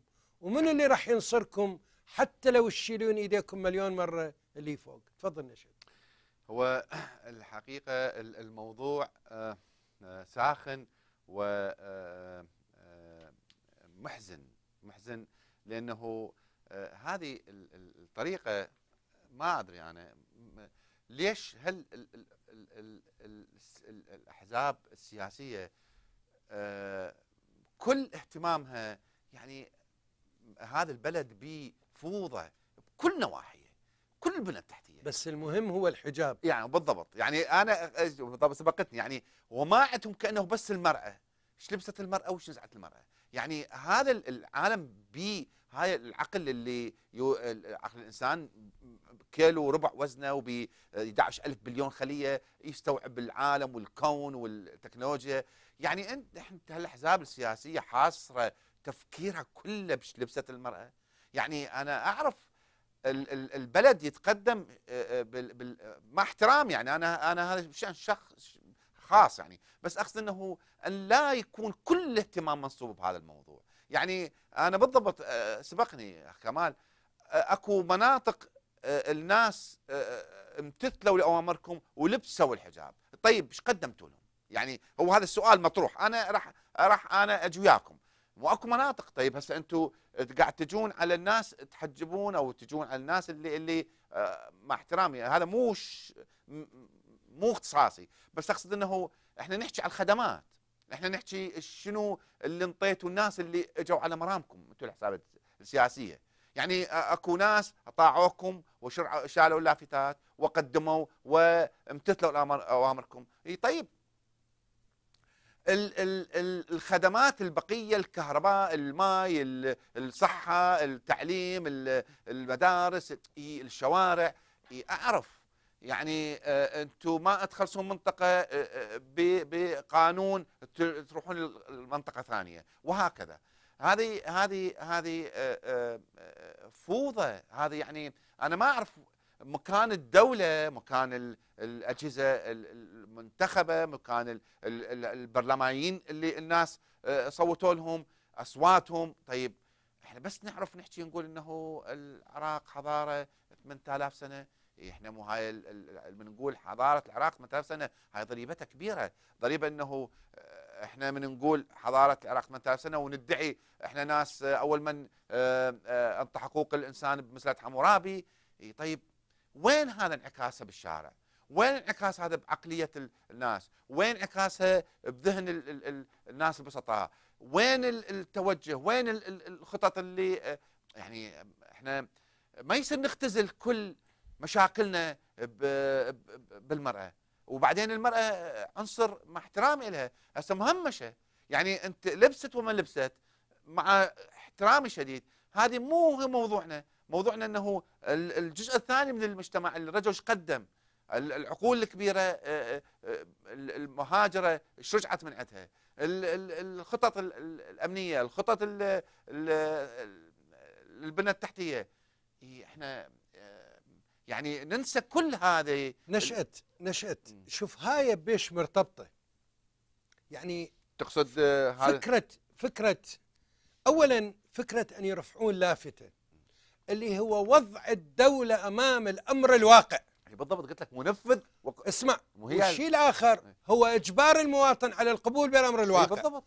الشيء الأخطر من كل هذا اللي هو التوقيع التوقيع أهالي. أهالي الكاظمية يعني الكل. المقدسة. الكل. من هم هؤلاء الأهالي؟ يعني يجوز نفر أنت عندك مجلس محافظة بغداد وعندك مجلس بلدية الكاظمية وعندك المجلس اللي موجود بالصحن. طيب كل هذول ما موجودين هذول منو؟ وصار واقع حال. هذول منو؟ صار واقع حال. منو اللي وراهم؟ وين الدولة؟ وين القانون؟ وين الشرطة؟ يعني أقول لك هسه بالكاظمية لو شايلين صور صدام حسين ما كان الدنيا كلها انقلبت واجوا. وطلعوهم من جوا وقالوا لهم منو هذولا؟ هذا صحيح. هذا مخالف للقانون. هذا أخطر من صدام حسين. لأن صدام حسين أصبح ماضي. هذول موجودين في مدينة الحلة. سنويا كان يقام مهرجان بابل.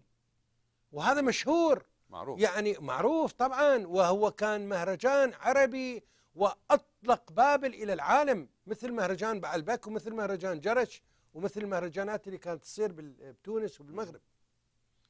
هذا المهرجان قبل سنتين لما صار مجلس محافظة بابل هؤلاء ال- المؤمنين طبعا اللي ثلاث ارباعهم من هيبية وأصحاب شهادات مزورة يرفض يرفض الغناء والموسيقى في مهرجان بابل.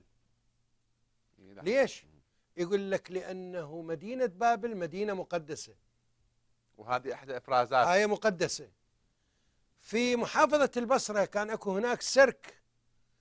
السيرك آه، أتصور الشركة كانوا لبنانيين اللي جايبين يعني ألعاب للأطفال والعوائل ترفيه. نصبوا السيرك ونصبوا كل شيء إجوا عليهم جماعة مو من المجلس المحافظة يعني قالوا لهم آه، هاي الأرض اللي أنتم مسوين عليها السيرك وقف شيعي حرام أن أنتم تسوون هذا الشيء عليها. فمنعوا هاي راحت. زين أكو عندك محافظات بأكملها ما تقدر أصلا تطير فوقاها. إيش بقى من العراق؟ هذه منو هو اللي يدير العراق؟ إذا أنت بالحلة يقولوا لك هالشكل ببغداد قالوا لك هالشكل بالنجف قالوا لك هالشكل. الكوفة اليوم بالمناسبة أكو خبر منشور بالإنترنت فعالية صايرة بالكوفة. كاتبين مدينة الكوفة المقدسة. صارت؟ كوفة شلون صارت مقدسة ليش المدينة مقدسة؟ يعني عجب الشوارع المبلطة وغير المبلطة مقدسة الشوارع اللي بيها مجاري واللي ما بيها مجاري هم مقدسة. عيب. غريبة. عيب. هذا آه، آه، آه، المتاجرة بالدين والضحك على الناس. عيب. عيب لأنه أكو أيام تجي اللي قبلكم استهتر هواية بالعراقيين. ولما أجت الساعة العراقيين ما رحموا. لا يمكن الاستهتار بهذه الطريقة. أنا مرة آه، الأخوة بالفيحاء طلعوا تقرير عن آه، سامراء. آه، أبو التقرير بالأخير يقول من مدينة سامراء المقدسة. أدري أنت تريد تحكي على الضريح؟ قول الضريح المقدس. صارت كل مدينة سامراء مقدسة. هسه أنتم بعيونكم شفتوا الفيلم والكلاب السائبة. كيف تقبلون أن تكون هذه الكلاب السائبة في مدينة سامراء المقدسة. خلي يطلع واحد يجاوبني. مشاهدينا الكرام نتوقف مع آخر إعلان ونعود لكم لنكمل ما تبقى في حلقة هذا المساء. نعود لكم لحظات.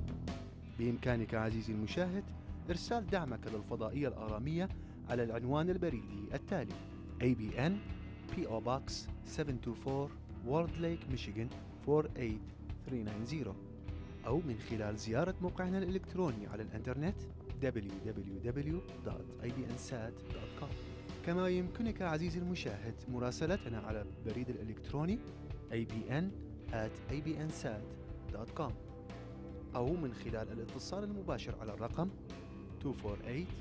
416-1300 شكرا لدعمك ولمحبتك والرب يباركك.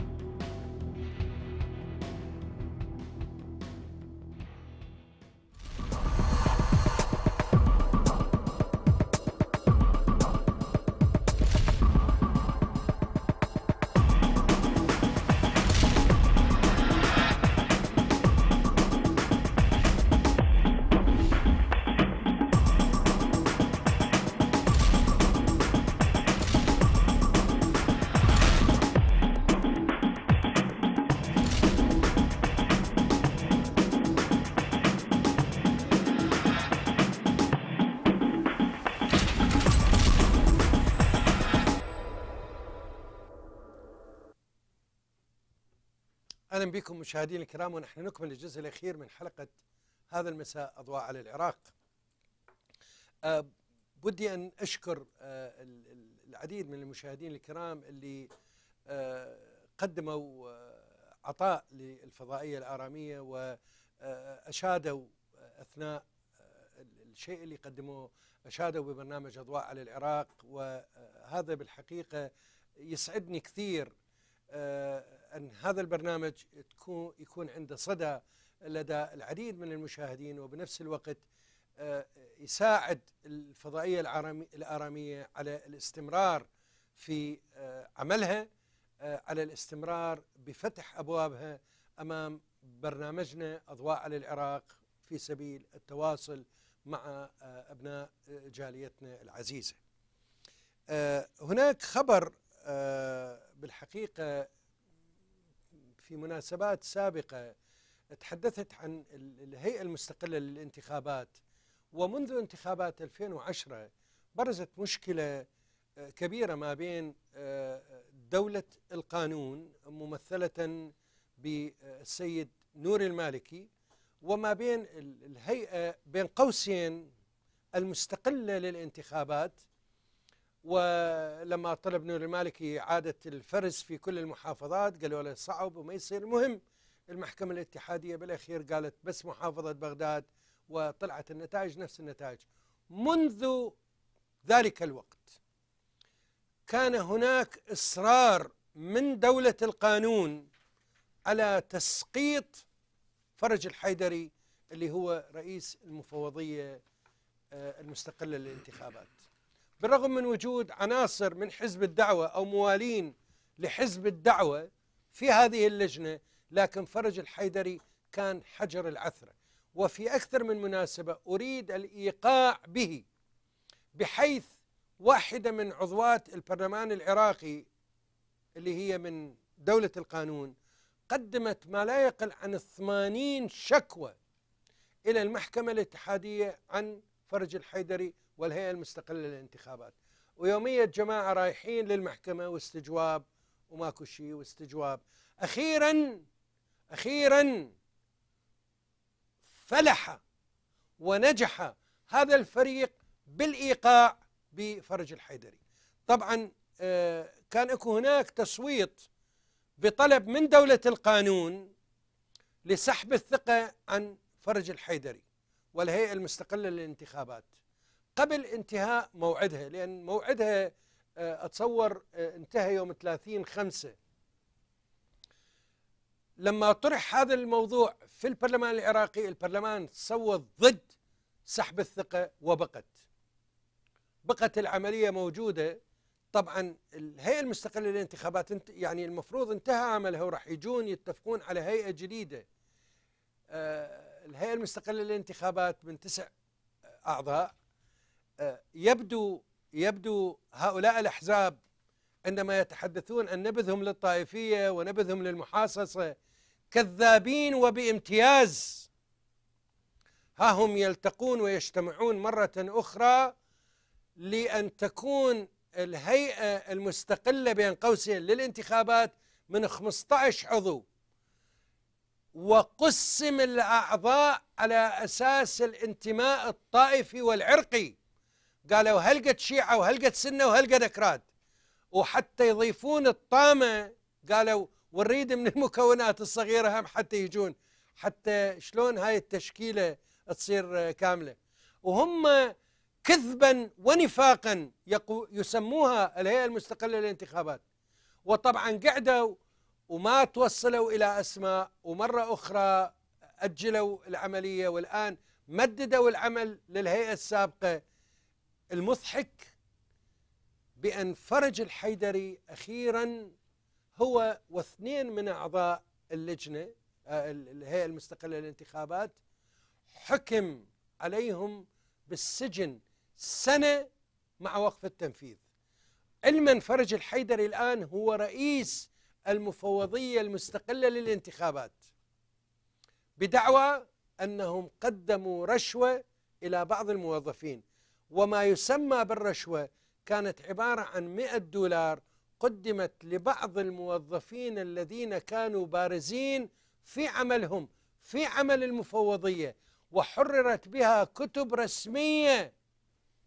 لكن ما يقال عن الهيئة القضائية واستقلالها هذا موضوع آخر ربما نتحدث فيه في برامج أخرى. لكن يعود بنا هذا الأمر مشاهدينا الكرام إلى مراقبة من يقود العملية السياسية وبأي طريقة يتعامل مع خصومه. تذكرون لما رادوا يسقطون صالح المطلق والهاشمي وعلاوي والنجيفي والبرزاني ويطلع واحد منا يقول هالشكل ويطلع واحد منك يقول هالشكل. هذا لم يعد لم تعد مشكلة. إن لم يتمكنوا بكاتم الصوت فأكو أساليب أخرى لأن المحكمة الاتحادية يبدو حاطيها الجماعة جواباتهم. شو وقت ما تريد. كما قيل آه، يبدو أن المحكمة الاتحادية تسير على هواك تفضل نشد هذا طبعا هو المركب العراقي مركب قلق آه، تعصف برياح والمشهد يلم هالقادة اللي هم شخصناهم إحنا وعرفنا ال ال ال المكشوف والمستور وقاعد نحاربهم بهذا ال ال ال الاتجاه. بس الحقيقة آه، اللي أحب أضيفه لما قال الأخ كمال إنه هذه عبارة عن آه، أفلام أو آه، لوي ذراع تطلع تبرز للإعلان وتبرز للمشهد وتنطفي وتروح ما نعرف سببها وتبقى مجرد فايل ملف يخزن في أحد الكتل ضد كتل كتله ثانية. شوف اللعبة هنا وين؟ اللعبة إنه بين كل فترة وفترة تطلع يبرز للمشهد للسطح أو للإعلام. آه، فد آه، زوبعة فد آه، شلون نقول إعصار. وهذا الإعصار دائما مكون من كتلتين أو ثلاثة عراقية. ياخذ الصفحة الأولى من الجرائد والبلاغات رقم واحد من أو الواجهات العفو واجهات الإعلام والصحافة والأخبار. وأنا اكد لكم وهذه قد ما تابعنا المشهد العراقي إسقاطات سياسية لأجل لوي ذراع وزيادة الملفات بين الكتل زيادتها ورقة شهادة ضد كتلة شهادة كتلة ضد كتلة ثانية. تخزن هذه الفايلات للطوارئ للمستقبل طبعا. لحالة إنه أنت تريد تجر الحبل أكثر من نشأة المالكي بعظمة لسانه. مو مرة غريبة. قال بعظمة لسانه مو شغلة غريبة. قال أنا عندي ملفات على طارق الهاشمي طيب منذ ليش ثلاث ليش سنوات. ما يعلنها؟ مو؟ بس هاي ليش ما المحكمة الاتحادية تجرد تقول له تعال طلع لنا إياهن؟ اذا هي ضم لي وأضم لك. هذا طبعا الموضوع ما بقى خاف يعني. إحنا بعيدين آه، يمكن حوالي آه، سب- 11000 مايل عن العراق. بس آه، قمنا نقرأ بين السطور ونعرف إنه هذه مجرد آه، آه، ورقة صغيرة تضاف إلى ال- ال- أحد الكتل بس هي ال- ال- ال- الفكرة وين؟ آه، السؤال هنا وين؟ واللي أنا أريد أطرحه عليكم. إلى متى يبقى جرة لعبة جر الحبلي بهذا المفهوم السياسي داخل أروقة الدولة وفي وسط المركب السياسي التعبان واللي هو آه، آه، تقذفه تجيب ريح ريح من هنا وعاصفة من هنا أنا أقصد وال- والمواطن في واد وهذا المركب في واد ثاني.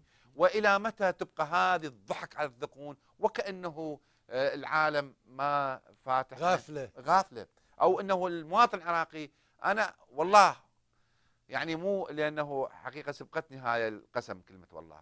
أنا أخاف إنه العراقي ما يسكت وهذا الضيم ما راح يبقى وهذا الموضوع يمكن يدوم يوم يومين ثلاثة سنة سنتين. بس صدقني ما يدوم لأنه آه، آه، مو هو هذا العراقي اللي يقبل هذا الضيم لا يقبل حتى على الأحزاب الدينية ضحكت عليه وخاف إذا أكو قسم من الأحزاب الدينية تريد تلهي هذا ال- الوطن وهذا الشعب آه، بزيارات أو هاي الكلمات الرنانة هاي المقدسة هذه القضايا الدينية اللي هي الدستور العراقي آه، أكد أنه حرية المواطنين العراقيين على مختلف آه، انتماءاتهم الدينية أو الحزبية أو الطائفية آه، المكفولة ب- بالدستور.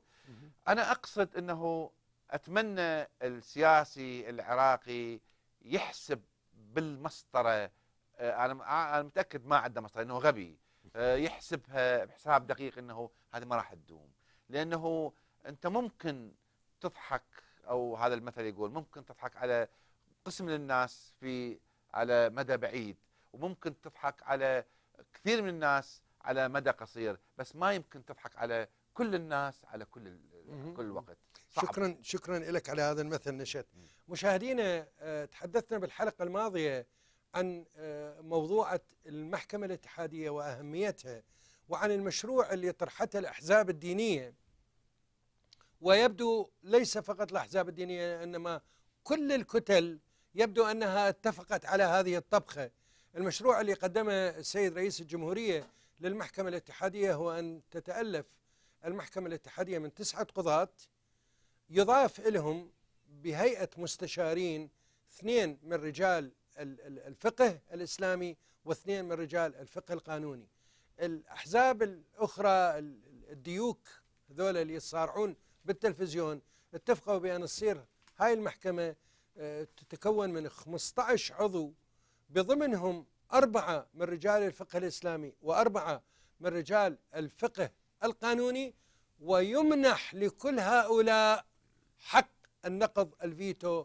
وبالتالي نحن أمام مشهد يجيبوا لك واحد رجل دين ينطوله نفس الصلاحيات ونفس القوة اللي تكون موجودة عند رجل القضاء. نشاهد هذا الفيديو القصير مشاهدينا الكرام حتى نأمل لهذا المشاهد الكريم أن يعي خطورة ما ينتظر هذا الوطن. يبدو أن قانون المحكمة الاتحادية سيسلك طريق التشريع بعد الاتفاق شبه النهائي بين الأطراف السياسية حول إعطاء خبراء الفقه الإسلامي حق النقض على الأمور التي تتعلق بالشريعة الإسلامية. أما فقهاء القانون فلهم حق النقض على الأمور التي تتعلق بالديمقراطية اتفاق في حال تطبيقه. قد ينهي جدلية الفقهاء. كلها قانونية تتعلق بالقانون وتطبيق القانون. أما بعض القوانين التي تتعلق بالشريعة فلهم الحق في آه، نقضها رأي برلماني قد لا ينسجم مع دعاة الدولة المدنية وأصحاب الفكر السياسي الديمقراطي. الذين عدوا إعطاء خبراء الفقه الإسلامي حق الفيتو على قرارات المحكمة الاتحادية تجاوزا على الديانات الأخرى. في حين كان الدستور العراقي واضحا في استخدام الشريعة الإسلامية مصدرا للتشريع. أنا في تقديري أنه هذا يمس بطبيعة الدولة المدنية لأنه وحتى ما مثل ما تبينه أنه الخبير في الفقه حيطلي برأي وهو رأي يبين الطابع الشرعي يعني بصفة الشرعية وهذا مثل ما ذكر أنه هو ملزم لمن يتبعه. أما أن تلزم الدولة تلزم الدولة بهذا الرأي فنحن انتقلنا من حيز إلى حيز. خبراء القانون الدولي كانوا مع تسمية الخبراء الإسلاميين بالأعضاء. حالهم حال فقهاء القانون. لهم حق التصويت على القرارات والرفض أيضا. وذلك بتسجيل اعتراض لا يدخل ضمن إطار النقد. لا يعطى له حق فيتو. هو يصوت بنعم أو لا. فإذا صوت نعم فإذا وافق على القرار وكان جزءا منه. إذا صوت ضد فمعنى هو ذلك متحفظ ويثبت رأيه التحفظي في دائرة القرار. وبما أن القانون يحمل نكهة سياسية في الأبعاد والمحتوى ويأتي ثانيا بعد الدستور العراقي من حيث الأهمية فلا بد للخلاف والاختلاف أن يكونا حاضرين في أغلب جلسات نقاشه. أما جلسة التصويت فقد تشهد احتداما حتى وإن اتفق المشرعون على الصيغة النهائية له. فالمصالح السياسية قد تعيق انسيابية تشريعه وقد يؤجل كما حصل سابقا. ولا شكر الفيحاء بغداد.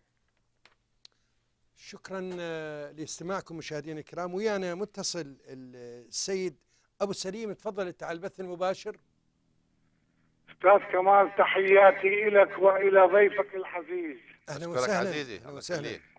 المشهد العراقي كما هو معروف وكما هو مبين على الساحة العراقية إن القادة المتوفرين أو الموجودين حاليا. سائرين على نفس النمط الايراني الخميني. لا يكون لهم فائدة للشعب العراقي وللعراق وإنما لمصالحهم الخاصة لمصالحهم الخاصة ولمصالح أحزابهم الدينية. المرتبطة ارتباطا وثيقا بإيران. فإذا أتينا على السيد المالكي، المالكي رجل ينفذ قرارات تصدر له من طهران وإلا وإلا فما هي الصلاحيات التي يمنحها له إلى وزير الدفاع ووزير الداخلية ووزير الأمن القومي فإنه دكتاتوريا بامتياز.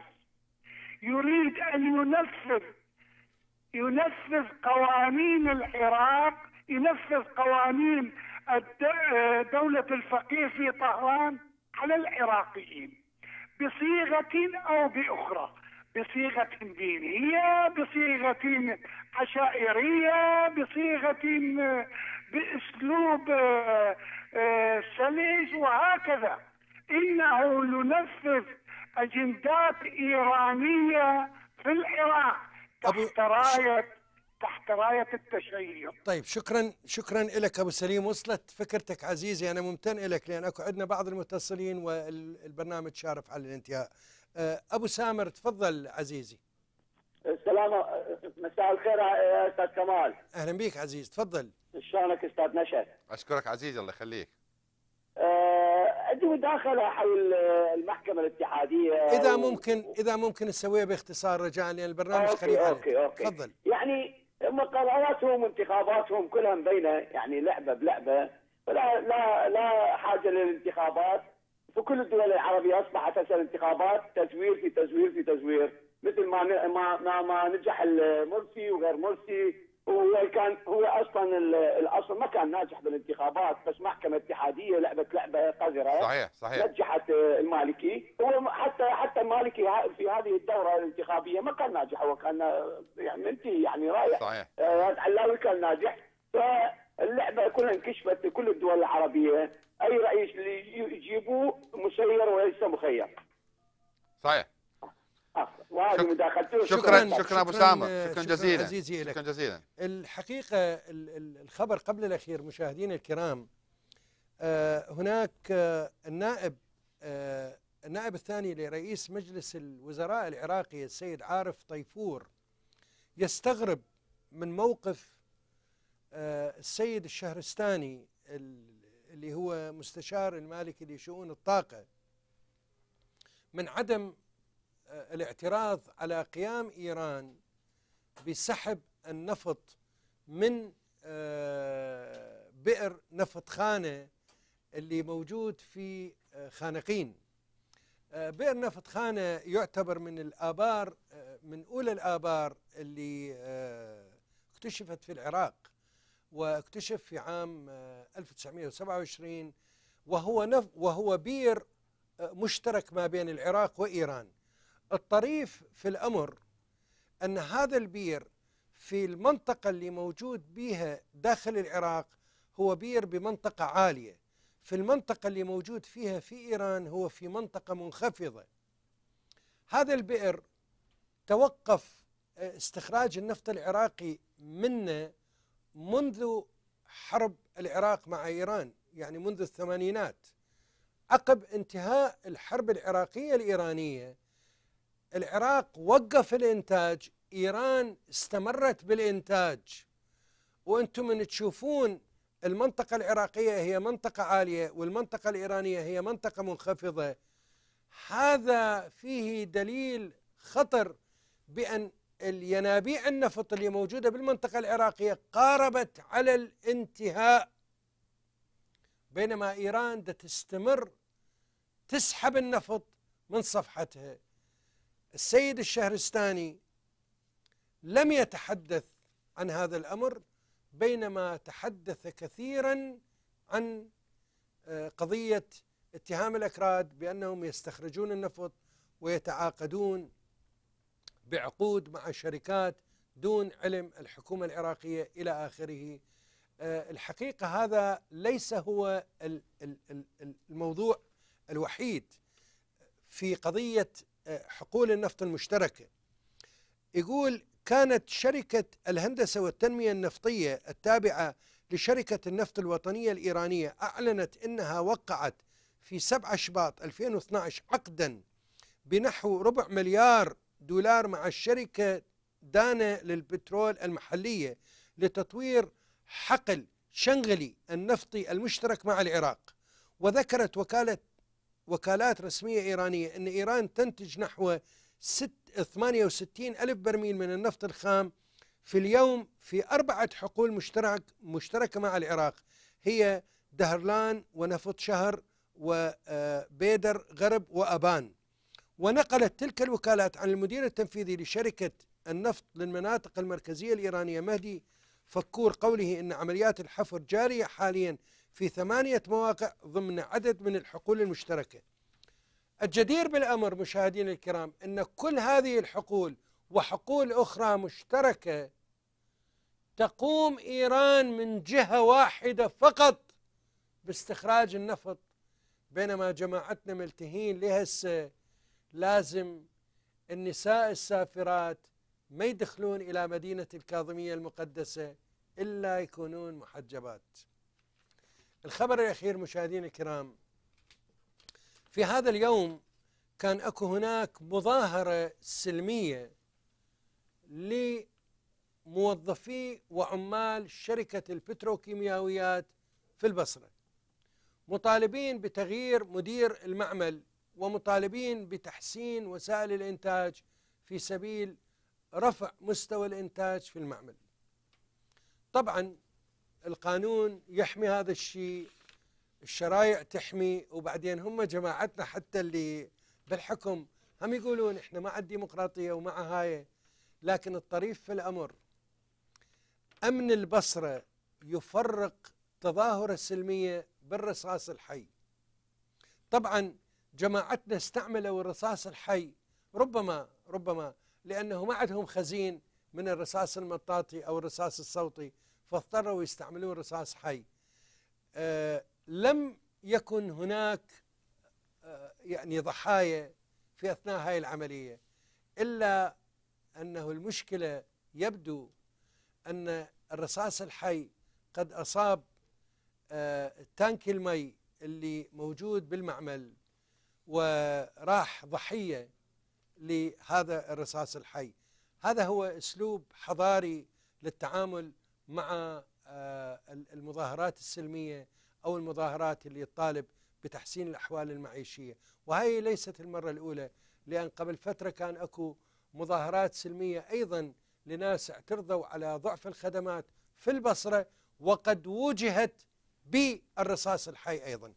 قبل أن أنهي البرنامج الكلمة لنشأت. آه، ختام آه، البرنامج. نحب نوجه شكر لكل مشاهدينا الكرام ونطالب مرة مرة أخرى أنه المساهمة بالآراء والكتابة عن أي موضوع يحبون آه، نتناقش به أو آه، نبحث آه، نفتح الفايل مالته أو الملف مالته ونطلب من عندكم أنه آه، تبقون على اتصال مع ويانا. حتى نلتقيكم الأسبوع القادم. هذا هو نشأة المندوي. استودعكم الله ومع السلامة. تفضل كمان. آه، شكرا لكم مشاهدينا الكرام. بالمناسبة في الأسبوع القادم أيضا راح يكون البرنامج مقسم إلى فقرتين. آه، واحدة من الفقرات سنتحدث قليلا عن اليهود العراقيين. آه، ربما حياتهم بالعراق وبعدين ما صفى آه، بهم الدهر وأيضا عن ال- الملفات السياسية العراقية. شكر جزيل لكم مشاهدينا الكرام لكل من اتصل وأعتذر عن آه، المشاهدين الكرام اللي لم أتمكن من أن آخذ اتصالاتهم. ألقاكم بالأسبوع القادم يوم الخميس الساعة الثامنة مساء بتوقيت ديترويت. تصبحون على خير يصبح العراق ويصبح أهل العراق على ألف خير. إذا المخرج عنده وقت يحط لنا الفيديو الأخير أنا ممتن لكم مشاهدينا الكرام. هذا فيديو يجرح القلب لكنه خلينا نشوف المستوى الثقافي وين وصل بالعراق. مع السلامة. مع السلامة.